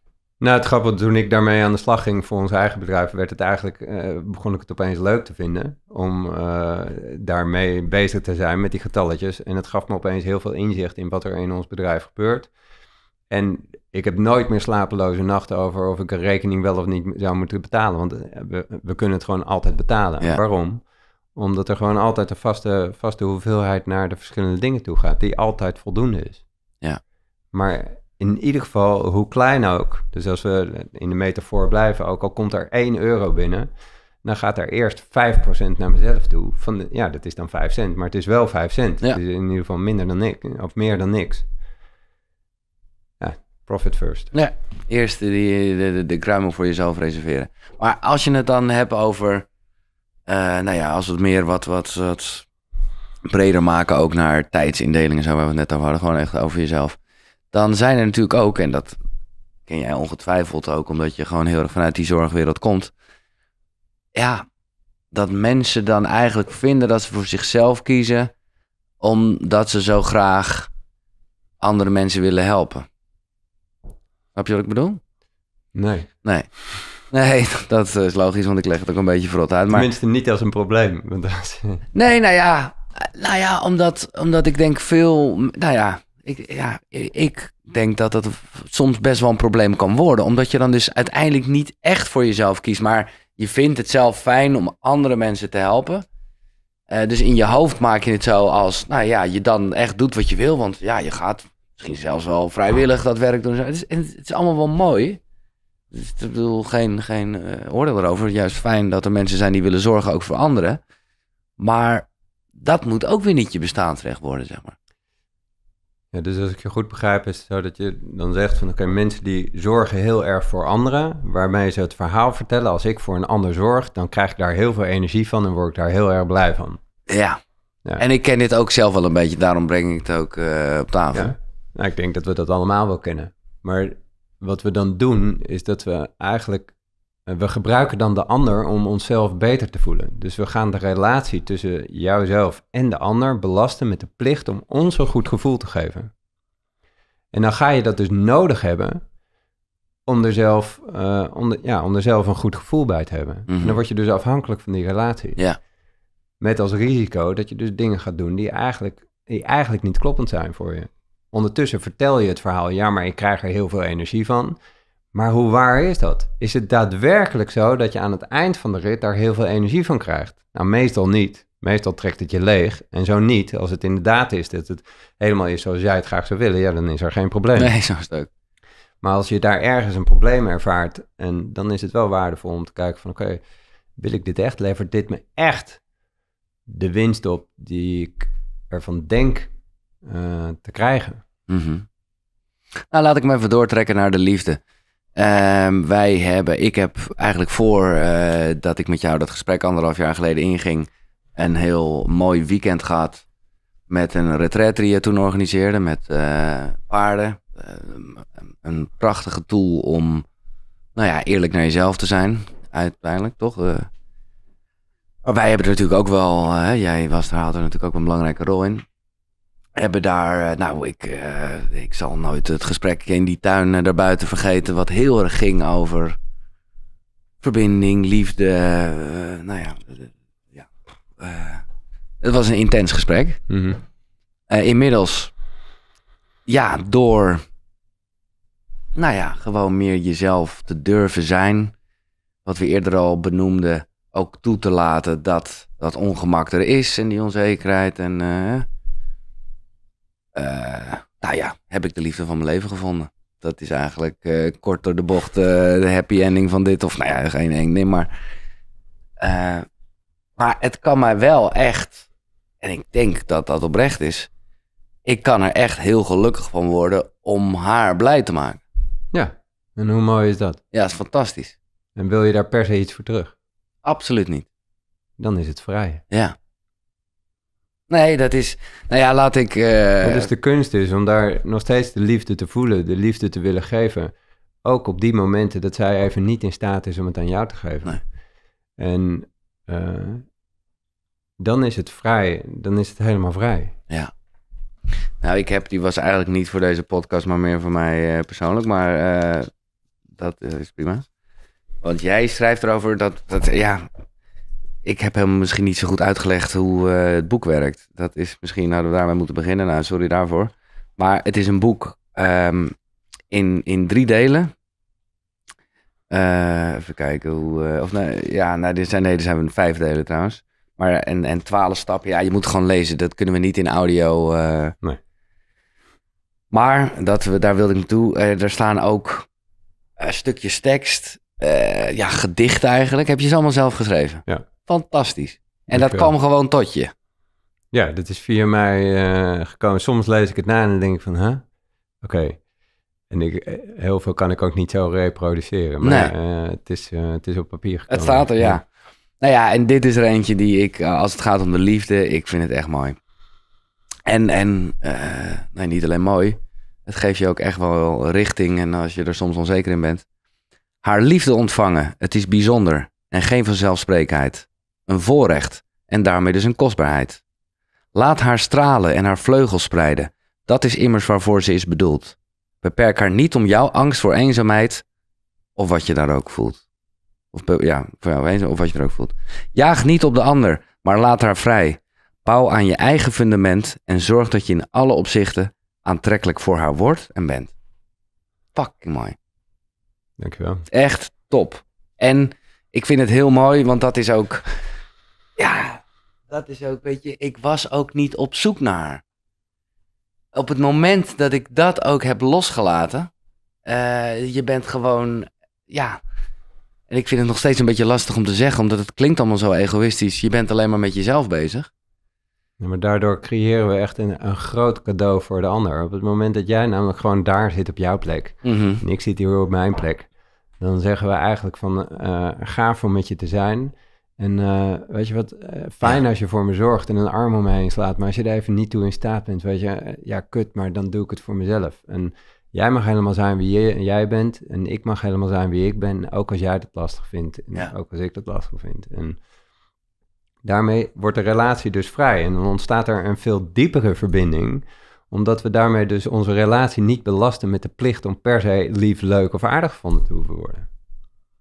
Maar dit is precies eh, de hoax waarvan je denkt: oh, als ik maar met die ander bezig ben, als ik daar maar, nou ja, eh, niks mis met oprechte interesse en zo, maar eh, daar, daar gaat het hem niet in zitten om meer verbinding te krijgen. Nee, dat werkt alleen maar als een enorme, eh, als een corset om je heen. Als iemand eh, continu denkt van, ja, maar vind je mij nog wel leuk? Vind je mij nog wel lief? Vind je mij nog wel aardig? Dan, wow, daar worden we, krijgen we toch allemaal benauwd van. Mhm, Dan zeggen we toch allemaal van, wow, weet je, eh, ja, op je eigen plek. Ja, En op het moment dat we dus allebei onze eigen plek innemen, dan ontstaat er een hele andere verbinding.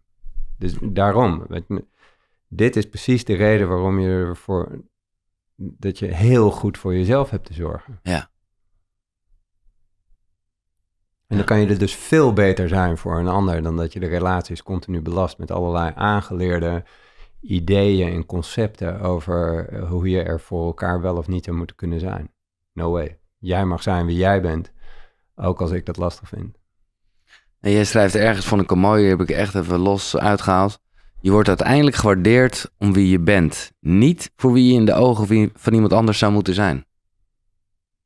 Zo is het. Ja, In mijn ogen. nee, ja, ik denk dat je gelijk hebt. Maar het is, ja, eh, gelukkig zeg jij ook niks menselijks is ons vreemd allemaal niet. Eh, want toch die behoefte aan, aan waardering of juist hoe kritiek je kan raken. Het is, En het mooie, de dualiteit hier en opnieuw is dus door, door je zelfstandigheid echt te gaan ervaren, heb je te erkennen dat in ieder geval een deel in jou afhankelijk is. ja, Nou, op het moment dat je dat waar laat zijn, dan krijg je een keuze. Dan ga ik kiezen voor deze afhankelijkheid, ja of nee. En dat is, de, dat is niet statisch. Ik zeg daarbij niet van je moet altijd ehm, eh, onafhankelijk zijn. Je moet altijd zelfstandig zijn. Nee, eh, het gaat erom dat je soms kiest juist voor de verbinding. En op een ander moment juist kiest voor de verbinding met jezelf, voor je eigen waarheid. Mhm. En ja, dat kan iedere dag verschillen.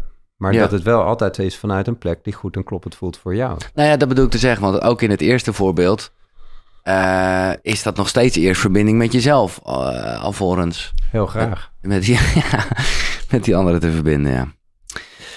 We hebben Rust wel even aangestipt van wat ik eh, een mooie vind en, en ik denk goed is om iedereen een beetje mee te kietelen. En Dat, deed, dat deed het bij mij in ieder geval toen jij dat schreef. Dat het ook wel eens zou kunnen zijn dat de onrust of het piekeren, dat dat eigenlijk een soort rust geeft. Omdat, je, omdat dat comfortabel is. Dat is wat je kent. Och, wat is het allemaal zwaar. Oh, wat is dat? Ja. Ja, maar dat is, dat is, best wel een mindfuck dit. Ja, we hebben baat, en ja, ik noem dat de macht van het drama. We hebben er baat bij om, ons, eh, om steeds weer onszelf ellendige verhalen te vertellen. Waarom hebben we er baat bij? Nou, dan heb je een reden om je slecht te mogen voelen. Ja. En dus eh, vrijheid klinkt. eh, Stel je voor dat je in een heel koud, donker, keel schuurtje zit. En die deur, en die deur naar de buitenwereld staat open. De zon die schijnt, de vogeltjes fluiten. De vrijheid roept je, eh, roept je en komt je tegemoet. En dan toch iets in ons die kiest ervoor om in dat kille, koude, donkere, natte schuurtje te blijven zitten. Waarom? Want dat kennen we. Ja, dat kennen we. Dat Ja. geeft toch een soort van veiligheid. En ondertussen blijven we roepen, ja, maar ik zou zo graag naar buiten willen. Ik zou, nou, daar zou de wereld echt veel mooier zijn. Maar ja, op het moment dat jij door die deur naar buiten loopt, dan krijg je opeens een enorme vrijheid tot je beschikking. En die vrijheid die gaat gepaard met het maken van keuzes. Dus op het moment dat jij daar gaat voelen en gaat merken van oké, ik heb hier dus keuzes. En ik kan kiezen voor de mooie dingen in, je, in mijn leven. Maar dan word je dus ook opeens verantwoordelijk voor de shit in je leven. En die verantwoordelijkheid willen we liever niet voelen. Dus dan is het veel makkelijker om in dat schuurtje te blijven. En vervolgens de plek waar je woont, of het werk wat je hebt, of misschien wel je opvoeding, je vader, je moeder, de maatschappij, of misschien wel het leven verantwoordelijk te houden voor de shit en ellende die jij in je leven hebt. Want dan heb je altijd een excuus waarvoor je niet, ja, waarvoor je eh, je zo slecht en ellendig voelt. Dat is een veel makkelijker en logischer route dan te zeggen van oké, ik zet mijn schouders eronder en ik ben verantwoordelijk. Niet Ja. schuldig, maar ik ben wel verantwoordelijk voor hoe ik in mijn leven eh, met de dingen omga. Ja, ik weet niet of het logischer is om eh, in het hokje te blijven, maar... Het is veel begrijpelijker. Ja, Weet je, het is veel makkelijker om te zeggen van, en dat is precies wat het is. Het is makkelijker om daar te blijven zitten en niks te doen en te klagen en verbitterd door het leven heen te gaan, dan te zeggen van, oké, ik heb hier ook aandeel in en ik heb een keuze en ik ga mijn schouders eronder te zetten. En de kans die ik loop is dat ik eh, ja, heb te dealen met onzekerheid, dat ik word afgewezen, vernederd, gekwetst. En dat het eh, misschien gigantisch gaat mislukken en ik ga falen. en dat is... Nou ja, dat, dat- dat- ik hoop echt dat eh, Dus ik iemand ben echt niet, vaak proberen we een route te nemen door beter door het leven heen te gaan, door groter, krachtiger, sterker, nog liefdevoller voor onszelf te worden. En ik ben eigenlijk wel een fan van de andere kant. Van, eh, kijk nou eens hoe het is om kwetsbaar te zijn, om te mislukken, om afgewezen en gekwetst te worden. Stel dat je daar nog steeds vaste grond onder je voeten hebt en je daar nog steeds kan ademhalen en je daar heel veel wijze lessen kan leren. Hoe zou het leven er dan uitzien? En Dus positive mindset en alles in een positieve richting draaien, zodat je groot, krachtig bent en je sterk voelt. Dat is een hele, hele zinvolle route. Maar het heeft één nadeel, want je moet altijd weer opnieuw in actie komen. Mhm. Dus als je je nou ook aan de schaduwkant van het leven kan dragen en ook daar weet hoe je je daar doorheen moet bewegen, dan wordt het leven toch gewoon een aaneenschakeling van ervaringen. Ja, oké, maar het lijkt... Ja, nee, oké, maar... Het lijkt net alsof jij nu zegt, nou, ik snap wel dat je in dat eh, kleine donkere kamertje blijft zitten. Ja, dat snap ik ook. Ja, ik snap het ook. Alleen het werkt niet. Nee, nee, oké. Nee. Dus dan toch, eh, ja, dan toch gewoon de angst, het oncomfortabele aangaan. Ja, maar zo eenvoudig, zo simpel als dat Nee. klinkt, is het natuurlijk niet. Nee. Dus dan heb je wel ergens... Weet je, iedereen... Ik geloof, als, als we de metafoor van dat eh, een koude, donkere schuurtje nemen... En iemand die zegt van ja, maar ik wil echt heel graag naar buiten. Ja, dat geloof ik. Ik geloof ook dat heel veel mensen dat willen. Maar er is een verschil tussen willen en durven. Heb je, blijf je het alleen willen of ga je ook ergens in jezelf de bereidheid vinden, al is het maar een millimeter, wat de moed heeft om het ook daadwerkelijk aan te gaan.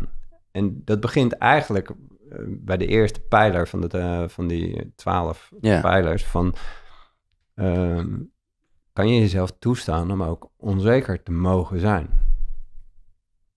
Nou, als daar een bereidheid toe is, dan is het alleen nog maar een kwestie van tijd. Ja. Het gaat alleen om de bereidheid. Je hoeft het nog niet eens te gaan doen. Maar als je zegt van oké, ik ben bereid om de onzekerheid aan te kijken. Dan gaat opeens de deur open. Ik zit even te denken of het zinnig is om de twaalf pijlers door te nemen. Want iedereen die luistert is natuurlijk super benieuwd. Eh, maar als ik ze gewoon zo plat sla, nee, ik kan ze even... eh, Maar ja, dat, is, dat, heeft gewoon niet zoveel zin. Maar tenminste, misschien ook wel. Maar je, de, de, de, want ik wil er wel op eentje... Nou, nou oké, ik zal ze even doornemen, want nu is het ook een beetje gek. Ehm, sta jezelf toe onzeker te mogen zijn. Dat is dus de eerste pijler. Kijk in de spiegel voordat je de dag begint. Bedoel je dat ook letterlijk? Want ik vind het ik, figuurlijk denk ik dat ik het goed doe. Eh, Ja, letterlijk, nou, letterlijk vind letterlijk ik het. mag, maar is niet nodig. Het eh, is meer figuurlijk bedoeld. Ehm, een mooie mantra, nee, die heb ik meer voor mezelf. Eh, nee, oké. Kijk vanuit welke plek je oordeelt. Focus maakt blind en dat biedt kansen. Ja, we gaan. Dit is, ik denk dat veel mensen denken: dit moet ik lezen. Is ook echt zo. Mag ik zijn wie jij bent? Of mag jij zijn wie je bent? Sorry. De ander is zoveel, daar zal je nooit aan kunnen voldoen. Nou, we hebben het over een hoop eh, dingen wel gehad. Ban giftige mensen uit je omgeving. Nou, ik weet dat je daar nog bij eh, tijdens een webinar een keer heel goed op inging van wie wil je in je zaal hebben zitten. Ja, Dat is een mooie, hè? En Ja. voor jou ook een, een, een zeer confronterende als het gaat over, nou ja, dat hebben we in het eerste gesprek besproken. Ik, vind, ik waardeer heel erg eh, je openhartigheid, Jur, in, in de band met je vader die je hebt. Of ja, die, eh, nou ja, die heb je dus altijd, maar dat was heel problematisch. Kort eh, gezegd, hij, wa- nou ja, jouw vader had een huisartsenpraktijk, jij hebt het overgenomen, maar hebt daar gewoon een ander beeld bij gehad. En nou, sindsdien is het nooit meer helemaal echt goed gekomen. Of misschien ook wel, ja, nou ja, hoe zie je dat zelf? nou, dit is nog maar een tipje van de sluier. Oké, Dus ehm, nee, het heeft mij heel erg laten zien dat ook zelfs een bloedband is geen garantie dat je per se in hetzelfde team moet zitten of aan dezelfde kant van de lijn moet staan. Het is, eh, waarom zou je in hemelsnaam omringen met mensen die jou omlaag trekken en die continu van jou iets beweren dat je iets anders zou moeten zijn dan dat je in essentie bent? Waarom zou je dat soort personen in hemelsnaam nog in, in je directe omgeving willen hebben? Ehm, en zelfs als het een bloedband is, eh, ben je dan verplicht om dat contact maar aan te houden, terwijl het je ondertussen continu omlaag trekt. Ik ben er echt een voorstander van om daar ook eh, gewoon het zwaar te hanteren. En dan niet om de ander te vernietigen, maar om de band te doorsnijden. Maar daarin wel te erkennen dat het, dat, dat de realiteit is. Dus eh, mijn vader is mijn vader en ik kan oprecht zeggen dat ik van hem hou en dat ik hem waardeer voor alle dingen die hij mij gegeven heeft. En niet alleen de mooie dingen, maar zeker ook de shit in mijn leven en de dingen die ik verschrikkelijk gemist heb. En, eh, omdat ja, je zelfs dat ziet als lessen waarmee jij eh, nou, als hij niet deze man was geweest die hij is en me niet op deze manier eh, behandeld had zoals hij dat heeft gedaan, dan was ik never nooit, dat denk ik, weten we natuurlijk niet zeker, maar juist daardoor heeft hij mij Ja. in staat gesteld om mijn eigen plek in te nemen. En daar ben ik hem heel erg dankbaar voor. Alleen ah, niet helemaal in de verpakking zoals we het waarschijnlijk allebei gewenst hadden. Nee. Ja, dus eh, omring je met mensen die het beste met je voor hebben. Voordat we doorgaan naar eh, de andere punten, dit was punt 7. Toch ben ja, ik ben gewoon nieuwsgierig in deze. Hè. We hebben het hier nogmaals vorige keer ook wel een beetje over gehad. Maar bijvoorbeeld nu dit nieuwe boek. Stuur je het hem nog op? Ben ik heb hem, oh, er staan een aantal zeer persoonlijke dingen in. Dus Ja. Heb ik hem van tevoren eh, voorgelegd met de vraag of hij akkoord was als ik dat zou, eh, nou, zou publiceren. En eh, nou ja, grote waardering en respect ook voor de stap die hij daar heeft gemaakt. Dat hij heeft gezegd van, nou oké, dat is akkoord als je dat erin zet. Ehm, toen hebben we nog wel een gesprek gehad waarin hij ook nog een andere kant van het verhaal wilde laten zien. Ehm, Hmm. en eh, nou ja, ehm, ik heb een aantal dingen uitgehaald, omdat het ook omdat het meer mijn eigen ongenoegen was. Dus ik heb het echt geprobeerd, of niet geprobeerd, ik heb het zo neergezet zoals het was. Eh, ik denk naar, met, heel veel groot, met heel veel respect en Absoluut. waardering ook naar mijn vader toe. Maar daarin ook niet ontkennend de pijn en de kwetsing die daar ook in heeft plaatsgevonden. Dus het is er allebei. Maar heeft het toch, want het is, hoe je het went of keert, juist vanwege die bloedband. En eh, ja, eh, kijk, dat is wel even een groot verschil met andere mensen in je omgeving, waarbij je, nou ja, waarom zou je daar dan nog mee omgaan? Dit is gewoon je vader, Ja, dat- dus dat blijft je vader. Eh, heeft dat weer onverwacht een hoop shit opgerakeld, of heb je daar wel echt een soort rust in gevonden? Ik heb daar innerlijk heel, in, binnen in mij is daarin echt heel stil geworden. En de shit wordt pas opgerakeld op het moment dat andere mensen daar hun mening weer over gaan Mhm, geven. En exact. vinden dat ik daar anders in zou moeten handelen. Maar ik weet dat ik vanuit een hele zuivere en een integere plek kom. En, eh, maar ja, ik, eh, nogmaals, waarom zou ik me omringen met mensen die mij continu weer naar beneden halen? Nee, maar ik bedoel te zeggen, kijk, eh, geen enkele twijfel over de zuiverheid en de goede intenties en de liefde ook. Maar het is toch altijd confronterend op het moment, nou, ja, waar we het over hadden met een ruzie, zo, op het moment dat toch iemand zijn, en niet zozeer, ja, een beetje ook zijn versie van het verhaal, maar gewoon zijn gevoelens, eh, ja, dat, ja, dat, dat, ik wil niet zeggen, ja, dat kan het wel een beetje veranderen. Of in ieder geval weer dat je denkt, oh ja, god, Zeker, en dus daarin laat ik me steeds weer mezelf raken. En juist door me daar te laten raken en te voelen en het allemaal op tafel te leggen, blijf ik zo voor mezelf kijken van, oké, ben ik hier nog trouw aan mezelf? Ehm, of ben ik hier iets aan het eh, ontwijken wat eigenlijk wel aangekeken wil worden?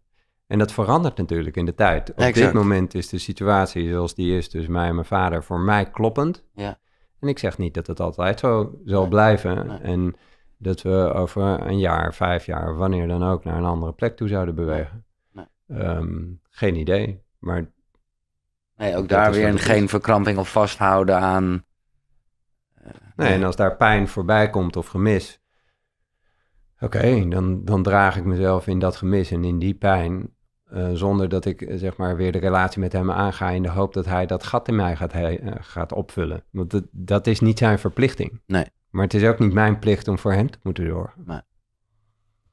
Maar, want nogmaals, we hebben het hier over gehad. En ik denk dat ik een soort gelijke vraag gesteld heb. Maar we zijn wel een tijd verder. En eh, ja, je zou kunnen zeggen, jij bent met Dr. Juriaan, met de theatertour, nu met dit nieuwe boek en zo ook gegroeid. Eh, ja, denk je dat hij trots is? Nou, de persoon aan wie je dat zou moeten vragen, dat is hem ja, hij zelf natuurlijk. Maar eh, ja, weet je, het zou een arrogante plek zijn als ik zou zeggen dat hij dat niet zou zijn. Natuurlijk, maar er is een verschil tussen daadwerkelijk trots zijn op iemand, tussen uiten dat je trots bent op iemand, of dat je het uit en het ook tot op iedere vezel in je lijf Mhm. ook meent. Of dat daar ook nog dingen zijn die zeggen van ja, eh, eigenlijk. ehm, weet je, eh, ik denk ook dat er een deel is in hem wat liever had gehad dat eh, ik anders in elkaar zat en dat hij een heleboel passies zoals hij die heeft, dat hij dat met mij als zoon had kunnen delen. En voor hem is het dan dus net zo triest als dat het voor mij is, Hmm. namelijk dat hij daar in sommige delen misschien toch verwachtingen en een hoop had in een zoon. En dat dat anders heeft uitgepakt dan dat hij eh, gehoopt, gewenst of gedacht had. En ben je dan in staat om daar je, volmondig ja tegen te zeggen? Ehm, nou, en ook voor die kwetsing in hem, daar, daar mag een plek voor zijn. Ik had het nooit zo gezien, eh, maar ik denk inderdaad wat jij zegt met eh, de. En, en je hebt ook gewoon, los van je eigen, misschien grootste praktijkvoorbeeld, ook gewoon le- letterlijk praktijkvoorbeelden vanuit je praktijk. Maar ik denk wel dat dit specifieke verhaal, nou dat blijkt ook wel uit het boek, ja, ja, heel veel goeds heeft gebracht, hoe kut het ook was. Want heel veel. Enorm. Ja, Weet Heel veel inzichten, En ja. heel veel inlevingsvermogen ook bij de mensen. Want dit is, come on, ik ben niet de enige. met nee, exact. Dus Uh, ik kan denk ik heel goed inleven waar mensen staan en ook, ook hun begeleiden op de weg uit die enorme spagaat en uit, uit dat corset waarin we dan gevangen zijn tussen uh, trouw blijven aan je vader en trouw blijven aan jezelf of trouw mm. blijven aan je moeder of iets ja, whatever, ja. En hoe ga je daar zodanig in bewegen dat het nog goed en kloppend is voor jou? Ja. En dan niet, ik bedoel, uh, als je dit, dan zou je denken, oké, okay, familiereunie, happy ending, maar daar gaat het even niet. Dat is juist gewoon in de situatie zoals je eerst de rust vinden. Precies dat. Ja. dat niet, dus ook niet willen streven naar een oplossing. Nee. Oké, van de twaalf pijlers, ban giftige mensen uit je omgeving is zeven. Acht is, en hier ben ik blij mee, Jur. Ik weet niet of wij het hier ooit hebben over gehad, maar het komt hier uh, vaak ter sprake. Uh, de achtste is, kies voor nederigheid. En jij benoemt letterlijk wat ik, waar ik altijd een soort van rilling mee krijg, namelijk nederigheid. Uh, en dan de eerste zin, of dit is in de samenvatting, nederigheid, maar niet in de zin van je kleiner of minder waardig maken ten opzichte van de ander. Nederigheid in de zin van jezelf opstellen als leerling. Beseffen dat je niet alles weet en dat je er bewust voor kiest om nieuwsgierig te zijn. Punt. Ja, maar echt. Dit is dit. Uh, en, ik, en dan werd het hier wel. En humble vond ik dan al een fijner woord, meer als van Engels. Maar eh, dan is nederigheid top. Uh, ga voor groei. Is uh, punt 9. Ja, ik, ik, ik, als je er iets over wil zeggen, maar ik, ja. 10. Breng eerst je eigen tuin op orde. Mooi. Doe elke dag iets dat je spannend vindt, is punt 11. ja, bij die andere van 10. Ja. Breng eerst je eigen tuin op orde. Dat andere, dat hoort er wel bij. Van, voordat je je druk gaat maken over, de over waar de buurman wel of niet zijn schutting neerzet. Dus heel vaak zijn we natuurlijk bezig met wat een ander wel of niet zou moeten doen. Zelfs maatschappijbreed. Eh, we, in Nederland kunnen we ons verschrikkelijk bemoeien over wat er op een andere plek in de wereld gebeurt. Maar misschien zou het waardevol zijn om eerst even naar je eigen tuin te kijken en te kijken van, goh, waar, uh, waar neem ik af en toe een verkeerde afslag? Ja. En ik geloof er heel erg in dat, dat iedereen goed voor zichzelf zou zorgen, daar zijn verantwoordelijkheid zou pakken en van daaruit op het moment dat hij dat op orde heeft, zijn horizon wat gaat verbreden en gaat kijken van, goh, hoe is het met de anderen eigenlijk gesteld? Dan zou de wereld er echt een heel stuk beter uitzien.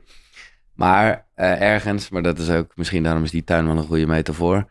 Want ja, onkruid blijft toch altijd bestaan? Ja, dus uh, heb daar aandacht voor. Ja, ja.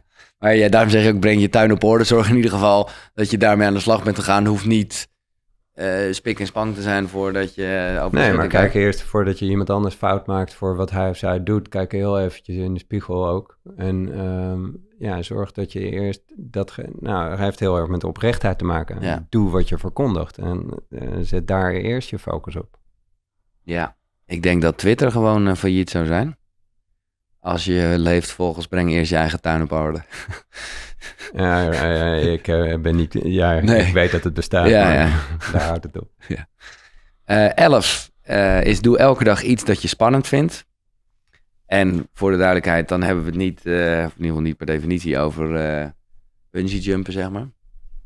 Nee, hele kleine dingen. Weet je, doe iedere dag iets wat je spannend vindt door, nou, deel iemand je gevoel, vertel iemand wat je leuk aan hem of haar vindt. Maar ook wat je misschien aan iemand irriteert voor dat ene vervelende gesprek of dat telefoontje wat je al jaren uitstelt, doe het een keer. Zodat je ja, daar groeien van. Daar ja. krijg je zelfvertrouwen van. Maar het lijkt me voor iemand als jij, ja, ik wil je echt niet uh, tot een of andere god bombarderen. En ik weet ook dat dat niet zo is en dat heb je ook een aantal keren gezegd. Maar ik ben wel benieuwd, hoe kan jij, oh ja, hoe, hoe doe jij dit punt? Als je namelijk heel erg in de basis steeds elke dag aan het trainen bent, hoe je gewoon weet dat je ook fouten maakt.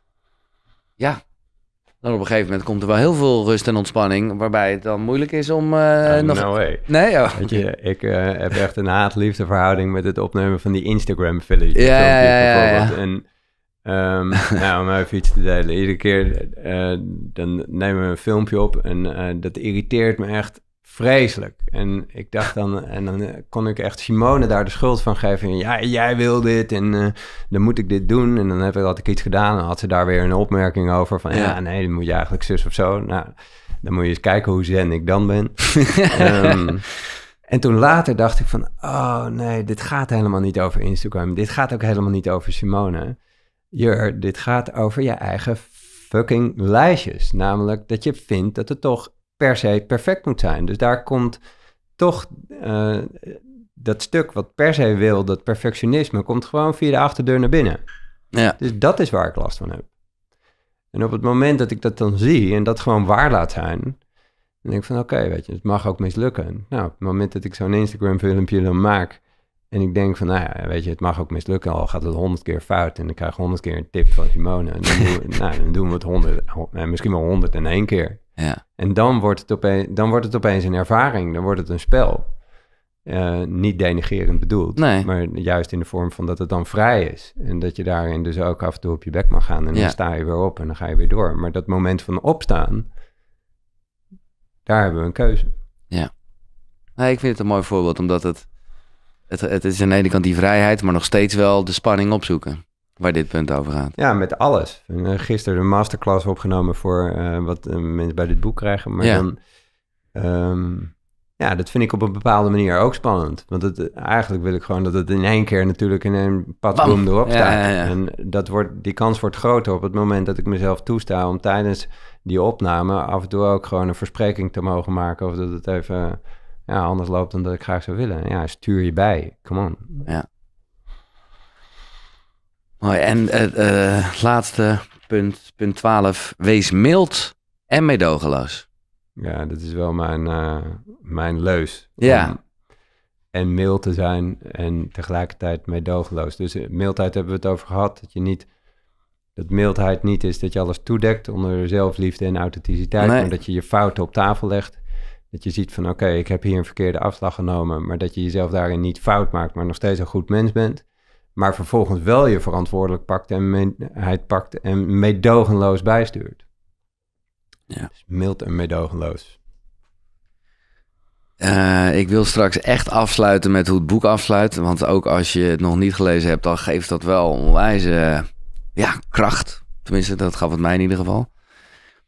Ik heb nog een paar dingen die ik zeker even wil bespreken. Ehm, ja, koning versus prins heb ik hier staan. Dit is misschien best een leuke, ja, bijna een soort oefening. Koningen en prinsjes. Ja, Die heb ik niet van mezelf. oké. nou, ja. Ehm dat is van Tibor, misschien wel bekend. Oh, ja, ja. Voor de luisteraars. Dus eh, die eer wil ik hem wel even toe toekomen. Ik weet niet waar hij het vandaan heeft, maar hij heeft me hier opgebracht. En ehm, ik zou eh, heel in het kort... Aan, eh, Simone en ik komen allebei vanuit een, eh, vanuit een langdurige andere relatie. En ehm, daarin zijn we ook allebei vreemd gegaan. Dus ehm, op het moment dat wij dus bij elkaar kwamen was er natuurlijk iets in ons, dat, of in ieder geval in mij, dat dacht van ja, weet je, ik heb geen garantie dat dit ook mij zou kunnen overkomen. En dat, ze, dat dit ook gebeurt, dat ze op een gegeven moment thuis komt en zegt van nou Jur, eh, we hebben het heel leuk gehad samen, maar eh, ik heb mijn hart verloren aan iemand anders. En ehm, tot hier en niet verder. En daarvanuit zei, ik zei altijd van oké, ik ga 100% voor jou. Niet wetende dat ik ergens in mijn achterhoofd 1% of 5% reserve hield voor dat ene geval dat. Zodat ik daar in ieder geval een vangnet zou hebben. Nou, die 1% die ik daar in reserve hield, denk je dat dat voelbaar was in de relatie? tuurlijk. Absoluut. Nou, en dat heeft ze me op verschillende manieren laten weten. En daar kunnen we iets van vinden, maar dat doet helemaal niet de zaak. Nee, maar dit is, we kennen Maar dit toen allemaal. dacht ik dus van, oké, ik heb hier te gaan voor opnieuw voor een oprechte relatie. Dus er is maar één mogelijkheid en dat is 100% voor deze relatie. En dat als die dag gaat komen dat ze voorbij komt en zegt, Jur, het was leuk, maar tot hier. Dat ik me dan dus ook volledig daaraan heb over te geven en de pijn die daarin zit, eh, gewoon volledig aan te gaan. En dan gebeurt er iets bijzonders. Want op het moment dat ik die beslissing had genomen, toen ontstond er niet alleen bij mij een soort rust, maar er ontstond ook, zonder dat ik het uit had uitgesproken, een rust bij Simone, waardoor er veel meer vertrouwen kwam, veel meer vrijheid, veel meer mogelijkheden. En hij heeft het onze relatie echt naar een totaal andere plek toegebracht. Ook weer de bereidheid om die pijn aan te gaan, mocht het misgaan. Ja. En dan voel je echt die onvoorwaardelijkheid. En dat voelt iemand altijd. Ja, ik ken dit heel erg. Ik bedoel, met terugwerkende kracht. Eh, als ik denk aan eerdere relaties. eh, ja, was het nooit die 100%. Nou, wat heeft dat dan te maken met koningen en prinsjes? Nou, eh, een prinsje die moet zich continu bewijzen. En die wil continu, ja, laten zien dat hij de beste is, dat hij de prins is. En die eh, probeert alle harten van alle vrouwen te veroveren. En ehm, daar heel erg zijn best te doen. En de koning, die, eh, die zit gewoon. En die weet dat hij alle vrouwen zou kunnen krijgen. Maar die gaat voor die ene. En eh, laat het ook zien in zijn acties. En in alle dingen die hij doet en zegt. Dus Ehm, ja, wil je een koning of een prins zijn? En er is niks mis met een prinsje. Er is, niks, er is niks mis met het zijn van een prins. Maar dat is een keuze. Ja. En als je zegt van nee, ik wil geen prins zijn, ik wil een koning zijn. Dan heb je dat ook te laten zien in je acties. Ja. Maar, en dat is ook niet dat jij dat niet zegt, want dat is natuurlijk wel heel vaak makkelijker gezegd dan gedaan. Omdat je dan dus ook echt de koning moet voelen over ja, het onderwerp waar het dan even over gaat. Nou, in ieder geval je als koning opstellen naar je partner. Dus ja. uh, vanuit een man zijn dat je naar je vrouw toe zegt van oké, uh, jij bent de enige echte. Ik ga voor jou. Andere vrouwen zijn er ook. Maar die hebben geen, in die zin geen, daar heb ik geen ruimte voor. Want ik besteed al mijn aandacht, tijd en liefde voor jou. Ja. Waarom? Omdat je het waard bent. En ik zelf ook. Denk jij dat we in... Uh ja, denk je dat we het filter kunnen uitleggen? Of is dat, uh, ik, kan, ik kan het ook aan je, maar het is, ja, het is super helder voor de duidelijkheid. Nu maak ik er een heel uh, vaag iets misschien van, maar hè, een perspectief om naar de wereld te kijken. En jij hebt voor jezelf een, een zeven punten filter gebouwd. Ja, kun, kan je hem uitleggen? Die zeven filters van um, geef niks en niemand de schuld, die bedoel ja, je? Ja. ja. Nou, de eerste stap is, geef niks en niemand de schuld over wat jij denkt, hoe je, wat je doet en hoe je je voelt. Er is niemand anders verantwoordelijk behalve jij. dus het ligt niet aan je buurman, het ligt niet aan je buurvrouw, niet aan je opvoeding, niet aan je vader, niet aan je moeder. Nee, jij bent degene die bepaalt hoe jij door het leven heen wil bewegen. Hoe je, hoe je, kijkt. Hoe je kijkt. Want daar hebben we het over, ja. Hoe je daarmee omgaat. Um, de tweede stap is dat, um, dat het, een, het is een proces is. Dus er zijn momenten waarop dat beter gaat en er zijn momenten waarop dat um, minder goed gaat. Sta jezelf daartoe om daarin te mogen leren, te groeien en te ontwikkelen. Dus maak jezelf niet fout als het even niet gaat. Maar wees daar mild naar jezelf, maar stuur meedogenloos bij. Dus pak je verantwoordelijkheid weer terug. En dat brengt dan bij de derde stap van oké, waar geef jij je verantwoordelijkheid nog steeds uit handen? Dus geef je toch stiekem je vader of je moeder of het leven of de maatschappij de schuld van hoe jij je voelt of welke mogelijkheden je wel of niet hebt. Een hele begrijpelijke route, alleen uh, ja, het werkt niet, want je maakt daarmee jouw welbevinden afhankelijk van iets wat buiten jou gelegen is. En daar betaal je hoe dan ook een prijs voor, dat ga je voelen. Dan is de vierde stap is dat je gaat zien van oké, okay, wat zijn eigenlijk mijn belemmerende overtuigingen? Dus we hebben allemaal overtuigingen waarvan we, waar we ten diepste aan vast willen houden, maar die iedere keer toch net niet weer werken. Dus dat we vinden dat we zeggen van ja, als mijn partner mij nou meer aandacht geeft, dan wordt onze relatie beter. Ja, dat kan misschien zo zijn, maar daarmee maak je het opnieuw afhankelijk van de acties en de reacties van je partner. Dus hoe zou het zijn als je daarom zou buigen en zou zeggen van oké, uh, als ik nou wat meer tijd en aandacht aan de relatie zou besteden, misschien zou het dan beter worden. Of mijn partner hoeft niet per se iedere keer te investeren in onze relatie om toch een goede relatie te hebben. Nou ja, whatever het ook zou zijn. Kijk wat voor een overtuiging wel werkt, in plaats van dat je iedere keer weer vasthoudt aan overtuigingen die, ja, waarmee je het stuur uit handen geeft. Ja, het is mooi en dit zit heel erg in van, van klacht naar kans. Hè, die belemmerende overtuigingen. En ook, zoals jij dat noemt, je innerlijke rechter. Ja, de innerlijke criticus, dat is een andere stap. Dat is uh, dat je zegt van ja, dat stemmetje wat we allemaal kennen, die je iedere keer weer zegt van, joh, had je dit niet anders kunnen doen? Hier had je wel wat beter je best mogen doen. Of, uh, nou, hier had je wel wat beter voor jezelf mogen zorgen. In ieder geval dat stemmetje wat er vanuit gaat, dat je in essentie gewoon niet goed genoeg bent. Met andere woorden, dat je je continu moet aanpassen en gedragen en moet pleasen, om in ieder geval de relatie met de ander te kunnen bouwen. En de grootste angst van de innerlijke rechter is dat je de relatie met de ander gaat verliezen. Dus, en dat, uh, dat laat hij je weten door te zeggen van ja, als jij hier helemaal jezelf gaat zijn, dan loop je het risico dat je de relatie verliest. Dat gaan we niet doen, dus je hebt je aan te passen. Je bent in essentie niet goed genoeg. Nee. Nou, leer dat, weet dat dat stemmetje er is, kijk ernaar, weet ook dat hij iets goeds met je voor heeft. En uh, nou, leg dat dus op tafel, kijk ernaar. Ja, ik merk echt dat dit, dit, is, dit is gewoon echt, dit is, nou ja, dat schrijf je ook en dat blijkt ook, echt de filter voor je leven. We hebben nog twee, hè, als het helemaal in, in de zeven stappen, zoals je soms schrijft in het boek, te doen.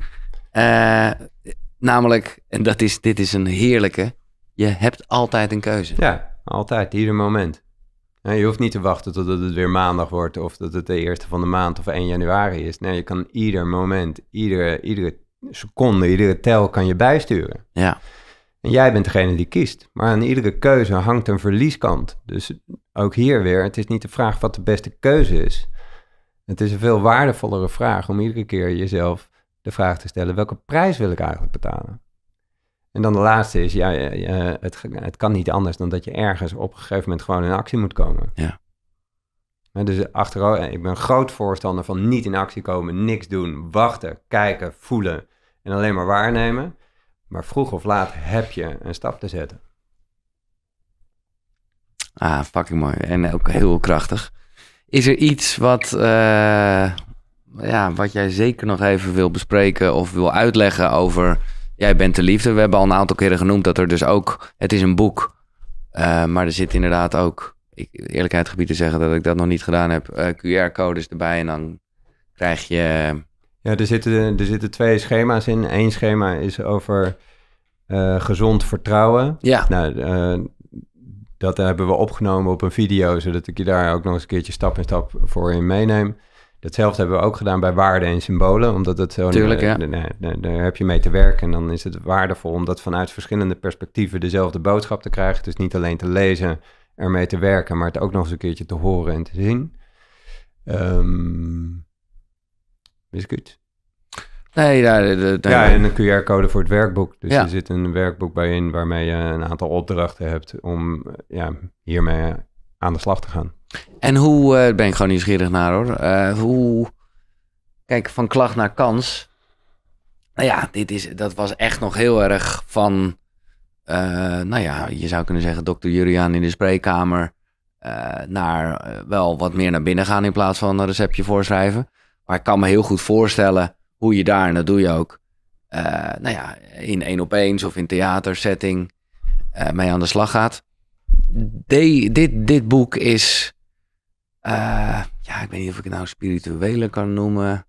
Maar snap wat ik bedoel? Het is wat, ik ben gewoon heel benieuwd hoe, ja, hoe je dit gaat verwerken in misschien theater of misschien iets anders. Snap je? Want het is, nou, heel, is het gaat heel erg over gevoel. Nou, de, um we geven trajecten aan mensen. Degene die daarna een verdiepingsjaar willen, dat is eigenlijk dit boek. Dus, ja, ja, ja. er is nu een groep bezig die, uh, uh, nou het zijn twaalf pijlers. Dat is toevallig zo ontstaan, maar dat betekent dus dat we iedere maand een aandacht geven aan één pijler. Dus die, die hmm. gaan een jaar lang met dit boek aan de, uh, aan de slag. Ondertussen heb ik een nieuwe ja, theatercollege in elkaar gezet, van het weekend ook. Hmm. Om, net als wat we bij de lezing van Klacht naar Kans in theater deden, om dat na de zomer langzaamaan uit te gaan rollen in uh, dit boek van Jij bent de liefde. Met heel veel interacties en uh, eigenlijk alleen maar quotes waar aan het verhaal is opgehangen. Ja, um, oh mooi. Ja, het, dit boek is veel meer, uh, nog meer... Ja, van Klacht naar Kans zijn gewoon de handvatten en, ja. en een beetje oneerbiedig gezegd de, de tips en de tricks hoe je door het leven heen kan bewegen. Uh, dit boek is er echt voor om het je ook daadwerkelijk te voelen en het je eigen te maken. En dit is veel meer zoals ik mijn leven leef. En op sommige momenten nog steeds, ja, eigenlijk iedere keer weer op basis hiervan mijn beslissingen nemen. En dat heeft me zowel qua fysieke gezondheid, maar ook mentaal. En de mensen die ik om me heen vergaar. En zowel professioneel als in mijn privéleven. Echt heel veel vrijheid, geluk, voldoening, gezondheid opgeleverd. Dus ja, uh, ja dat gun ik iedereen. Ja, ja, mooi man.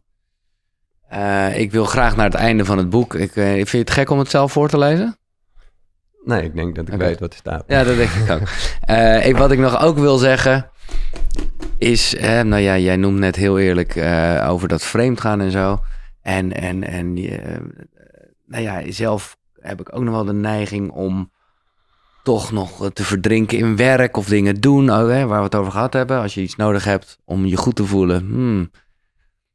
Maar ik vind het zo fijn, en dat ademt dit gesprek ook uit, dat, het, dat, je, ja, dat, dat je best mag voelen dat het bijzonder is als je dat niet doet.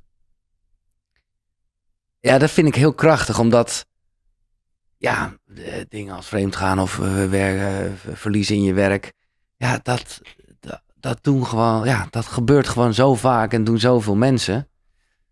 En dan, ja, ik weet niet waarom ik dit nu nog even benoem, maar dat kan je gewoon zo'n, tenminste voor mij in ieder geval, een soort goede kracht vinden van, hé, hey, maar ik kies ervoor om dat niet te doen. Ja, en je bent geen fout mens als het wel gebeurt. Exact, oké. Maar En wees daar mild naar jezelf. Maar stuur meedogenloos bij, want het draagt niet bij aan de relatie tussen jou en jezelf. Want je schaadt daarmee de relaties in je omgeving. Ehm, maar altijd weer vanuit een plek die goed en kloppend is voor jou. Zorg eerst voor jezelf. Ja. Kijk, het einde misschien moet ik het een beetje introductie geven. Uh, en ik weet ook helemaal niet of, nou ja, ik denk wel dat het goed overkomt. Maar het is meer dat ik het las en dacht, shit, wat een kracht spreekt hieruit. Ik zal een kleine introductie doen en, en dan, uh, dan kan je het laatste ding voorlezen. Het gaat over waarachtig zijn. En dit is een beetje nou ja, het soort einde in het boek. Uh, en uh, dat jij schrijft dat je hoopt dat de inzichten je meer in, verband, in verbinding heeft gebracht met de belangrijkste persoon in je leven. Namelijk jezelf. Uh, maar ook, en dat is, wow, dat is soms, dat, dat is echt ook werk voor mij veel te doen. Dat je, dat je niet alleen met, oh, met je mooie licht en krachtige kanten zoals je schrijft. Maar ook dat je in verbinding heeft gebracht met, ja, de schaduwrijke, schrijf hier, kwetsbare, angstige, pijnlijke en onzekere delen. Eh, met de, met de mildheid. Omdat, ja, omdat die delen ook aandacht nodig hebben. Die vragen, het is niet voor niks dat dat uh, in je zit. Um, ja, het vraagt ook jouw aandeelhouderschap en jouw verantwoordelijkheid. En dan komt, nou ja, dit. Dat laatste stukje? Ja, ja. Tussen de haakjes, ja, oké. Oké, kies voor niet weten, voor verlangen, voor nederigheid, nieuwsgierigheid en ontdekken. Kies voor de bereidheid om te falen, voor de weerstand en de tegenslagen. Kies voor spelen, voor leren, voor voelen en ervaren. Kies voor liefde, voor dankbaarheid en voor vertrouwen. Ga niet jagen op al het goede, maar zorg dat je aantrekkelijk wordt voor al datgene wat waardevol is. Liefde is geen daad. Liefde wil uit zichzelf niets bereiken. Liefde is niet uit op een bepaald resultaat, ook is het geen object dat je moet proberen te krijgen. Voor je het weet belast je de liefde met de plicht om jou je goed te laten voelen.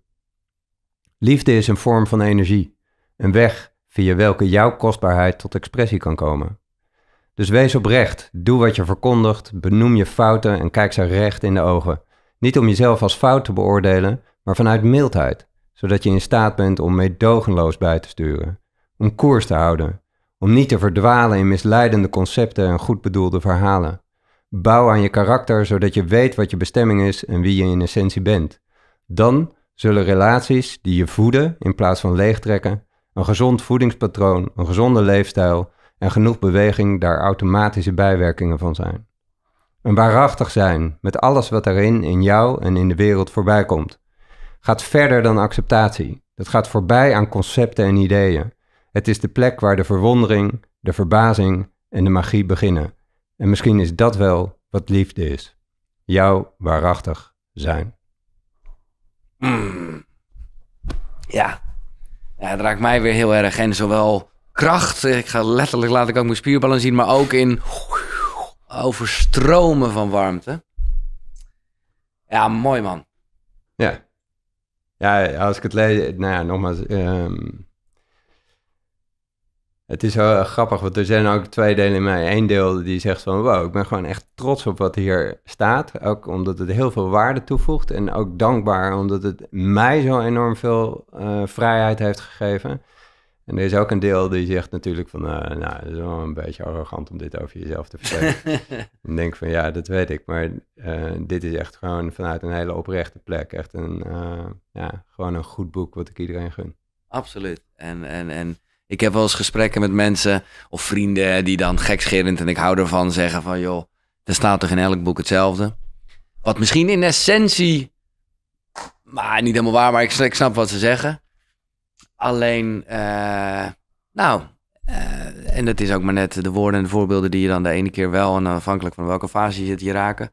Maar dit stipt voor mij echt iets aan uh, in zijn totaliteit wat ik nog nergens heb gelezen. Dus ik, ik ja, ik ben er echt eigenlijk wel vol van. Ik denk dat het echt wel uh, een, een, een nieuwe klassieker is. We gaan het zien. Ja, maakt niet uit. Het is allemaal goed. Er is geen goed of fout. Maar uh, het is, uh, ik, ik, ik ben je heel dankbaar in ieder geval. Nou, ik ben jou heel dankbaar gewoon voor wat we samen hebben. De vriendschap en ja. de verbinding. En de mogelijkheden die we elkaar geven. Dus onwijs dank daarvoor. Thanks. Jij bent de liefde. Uh, ik zal uiteraard een linkje plaatsen naar het boek. Uh, via koekeroe.nl slash Juriaan. Uh, daar vind je ook de oude aflevering. als je die nog niet gecheckt hebt. Dus koekeroe.nl slash Juriaan. Dan zie je het wel. Bedankt voor het kijken, luisteren of hoe je dit ook consumeert. als je het luistert en je doet bijvoorbeeld via Spotify, deel het. Via Instagram, tag at Club. Instagram account van de Koekeroe wat de is. En mij persoonlijk kan je natuurlijk ook taggen. Als je YouTube kijkt, altijd leuk. Ik lees altijd alle reacties. Uh, ook al zijn ze soms vreselijk, maar dat vind ik ook top. Dus uh, laat, laat wat weten. uh, daar kan je ook abonneren trouwens op het YouTube kanaal. En nou ja, voor de rest bedankt voor het luisteren en alle feedback die je krijgt. Fijne dag, tot de volgende zonnegroet. Hoi.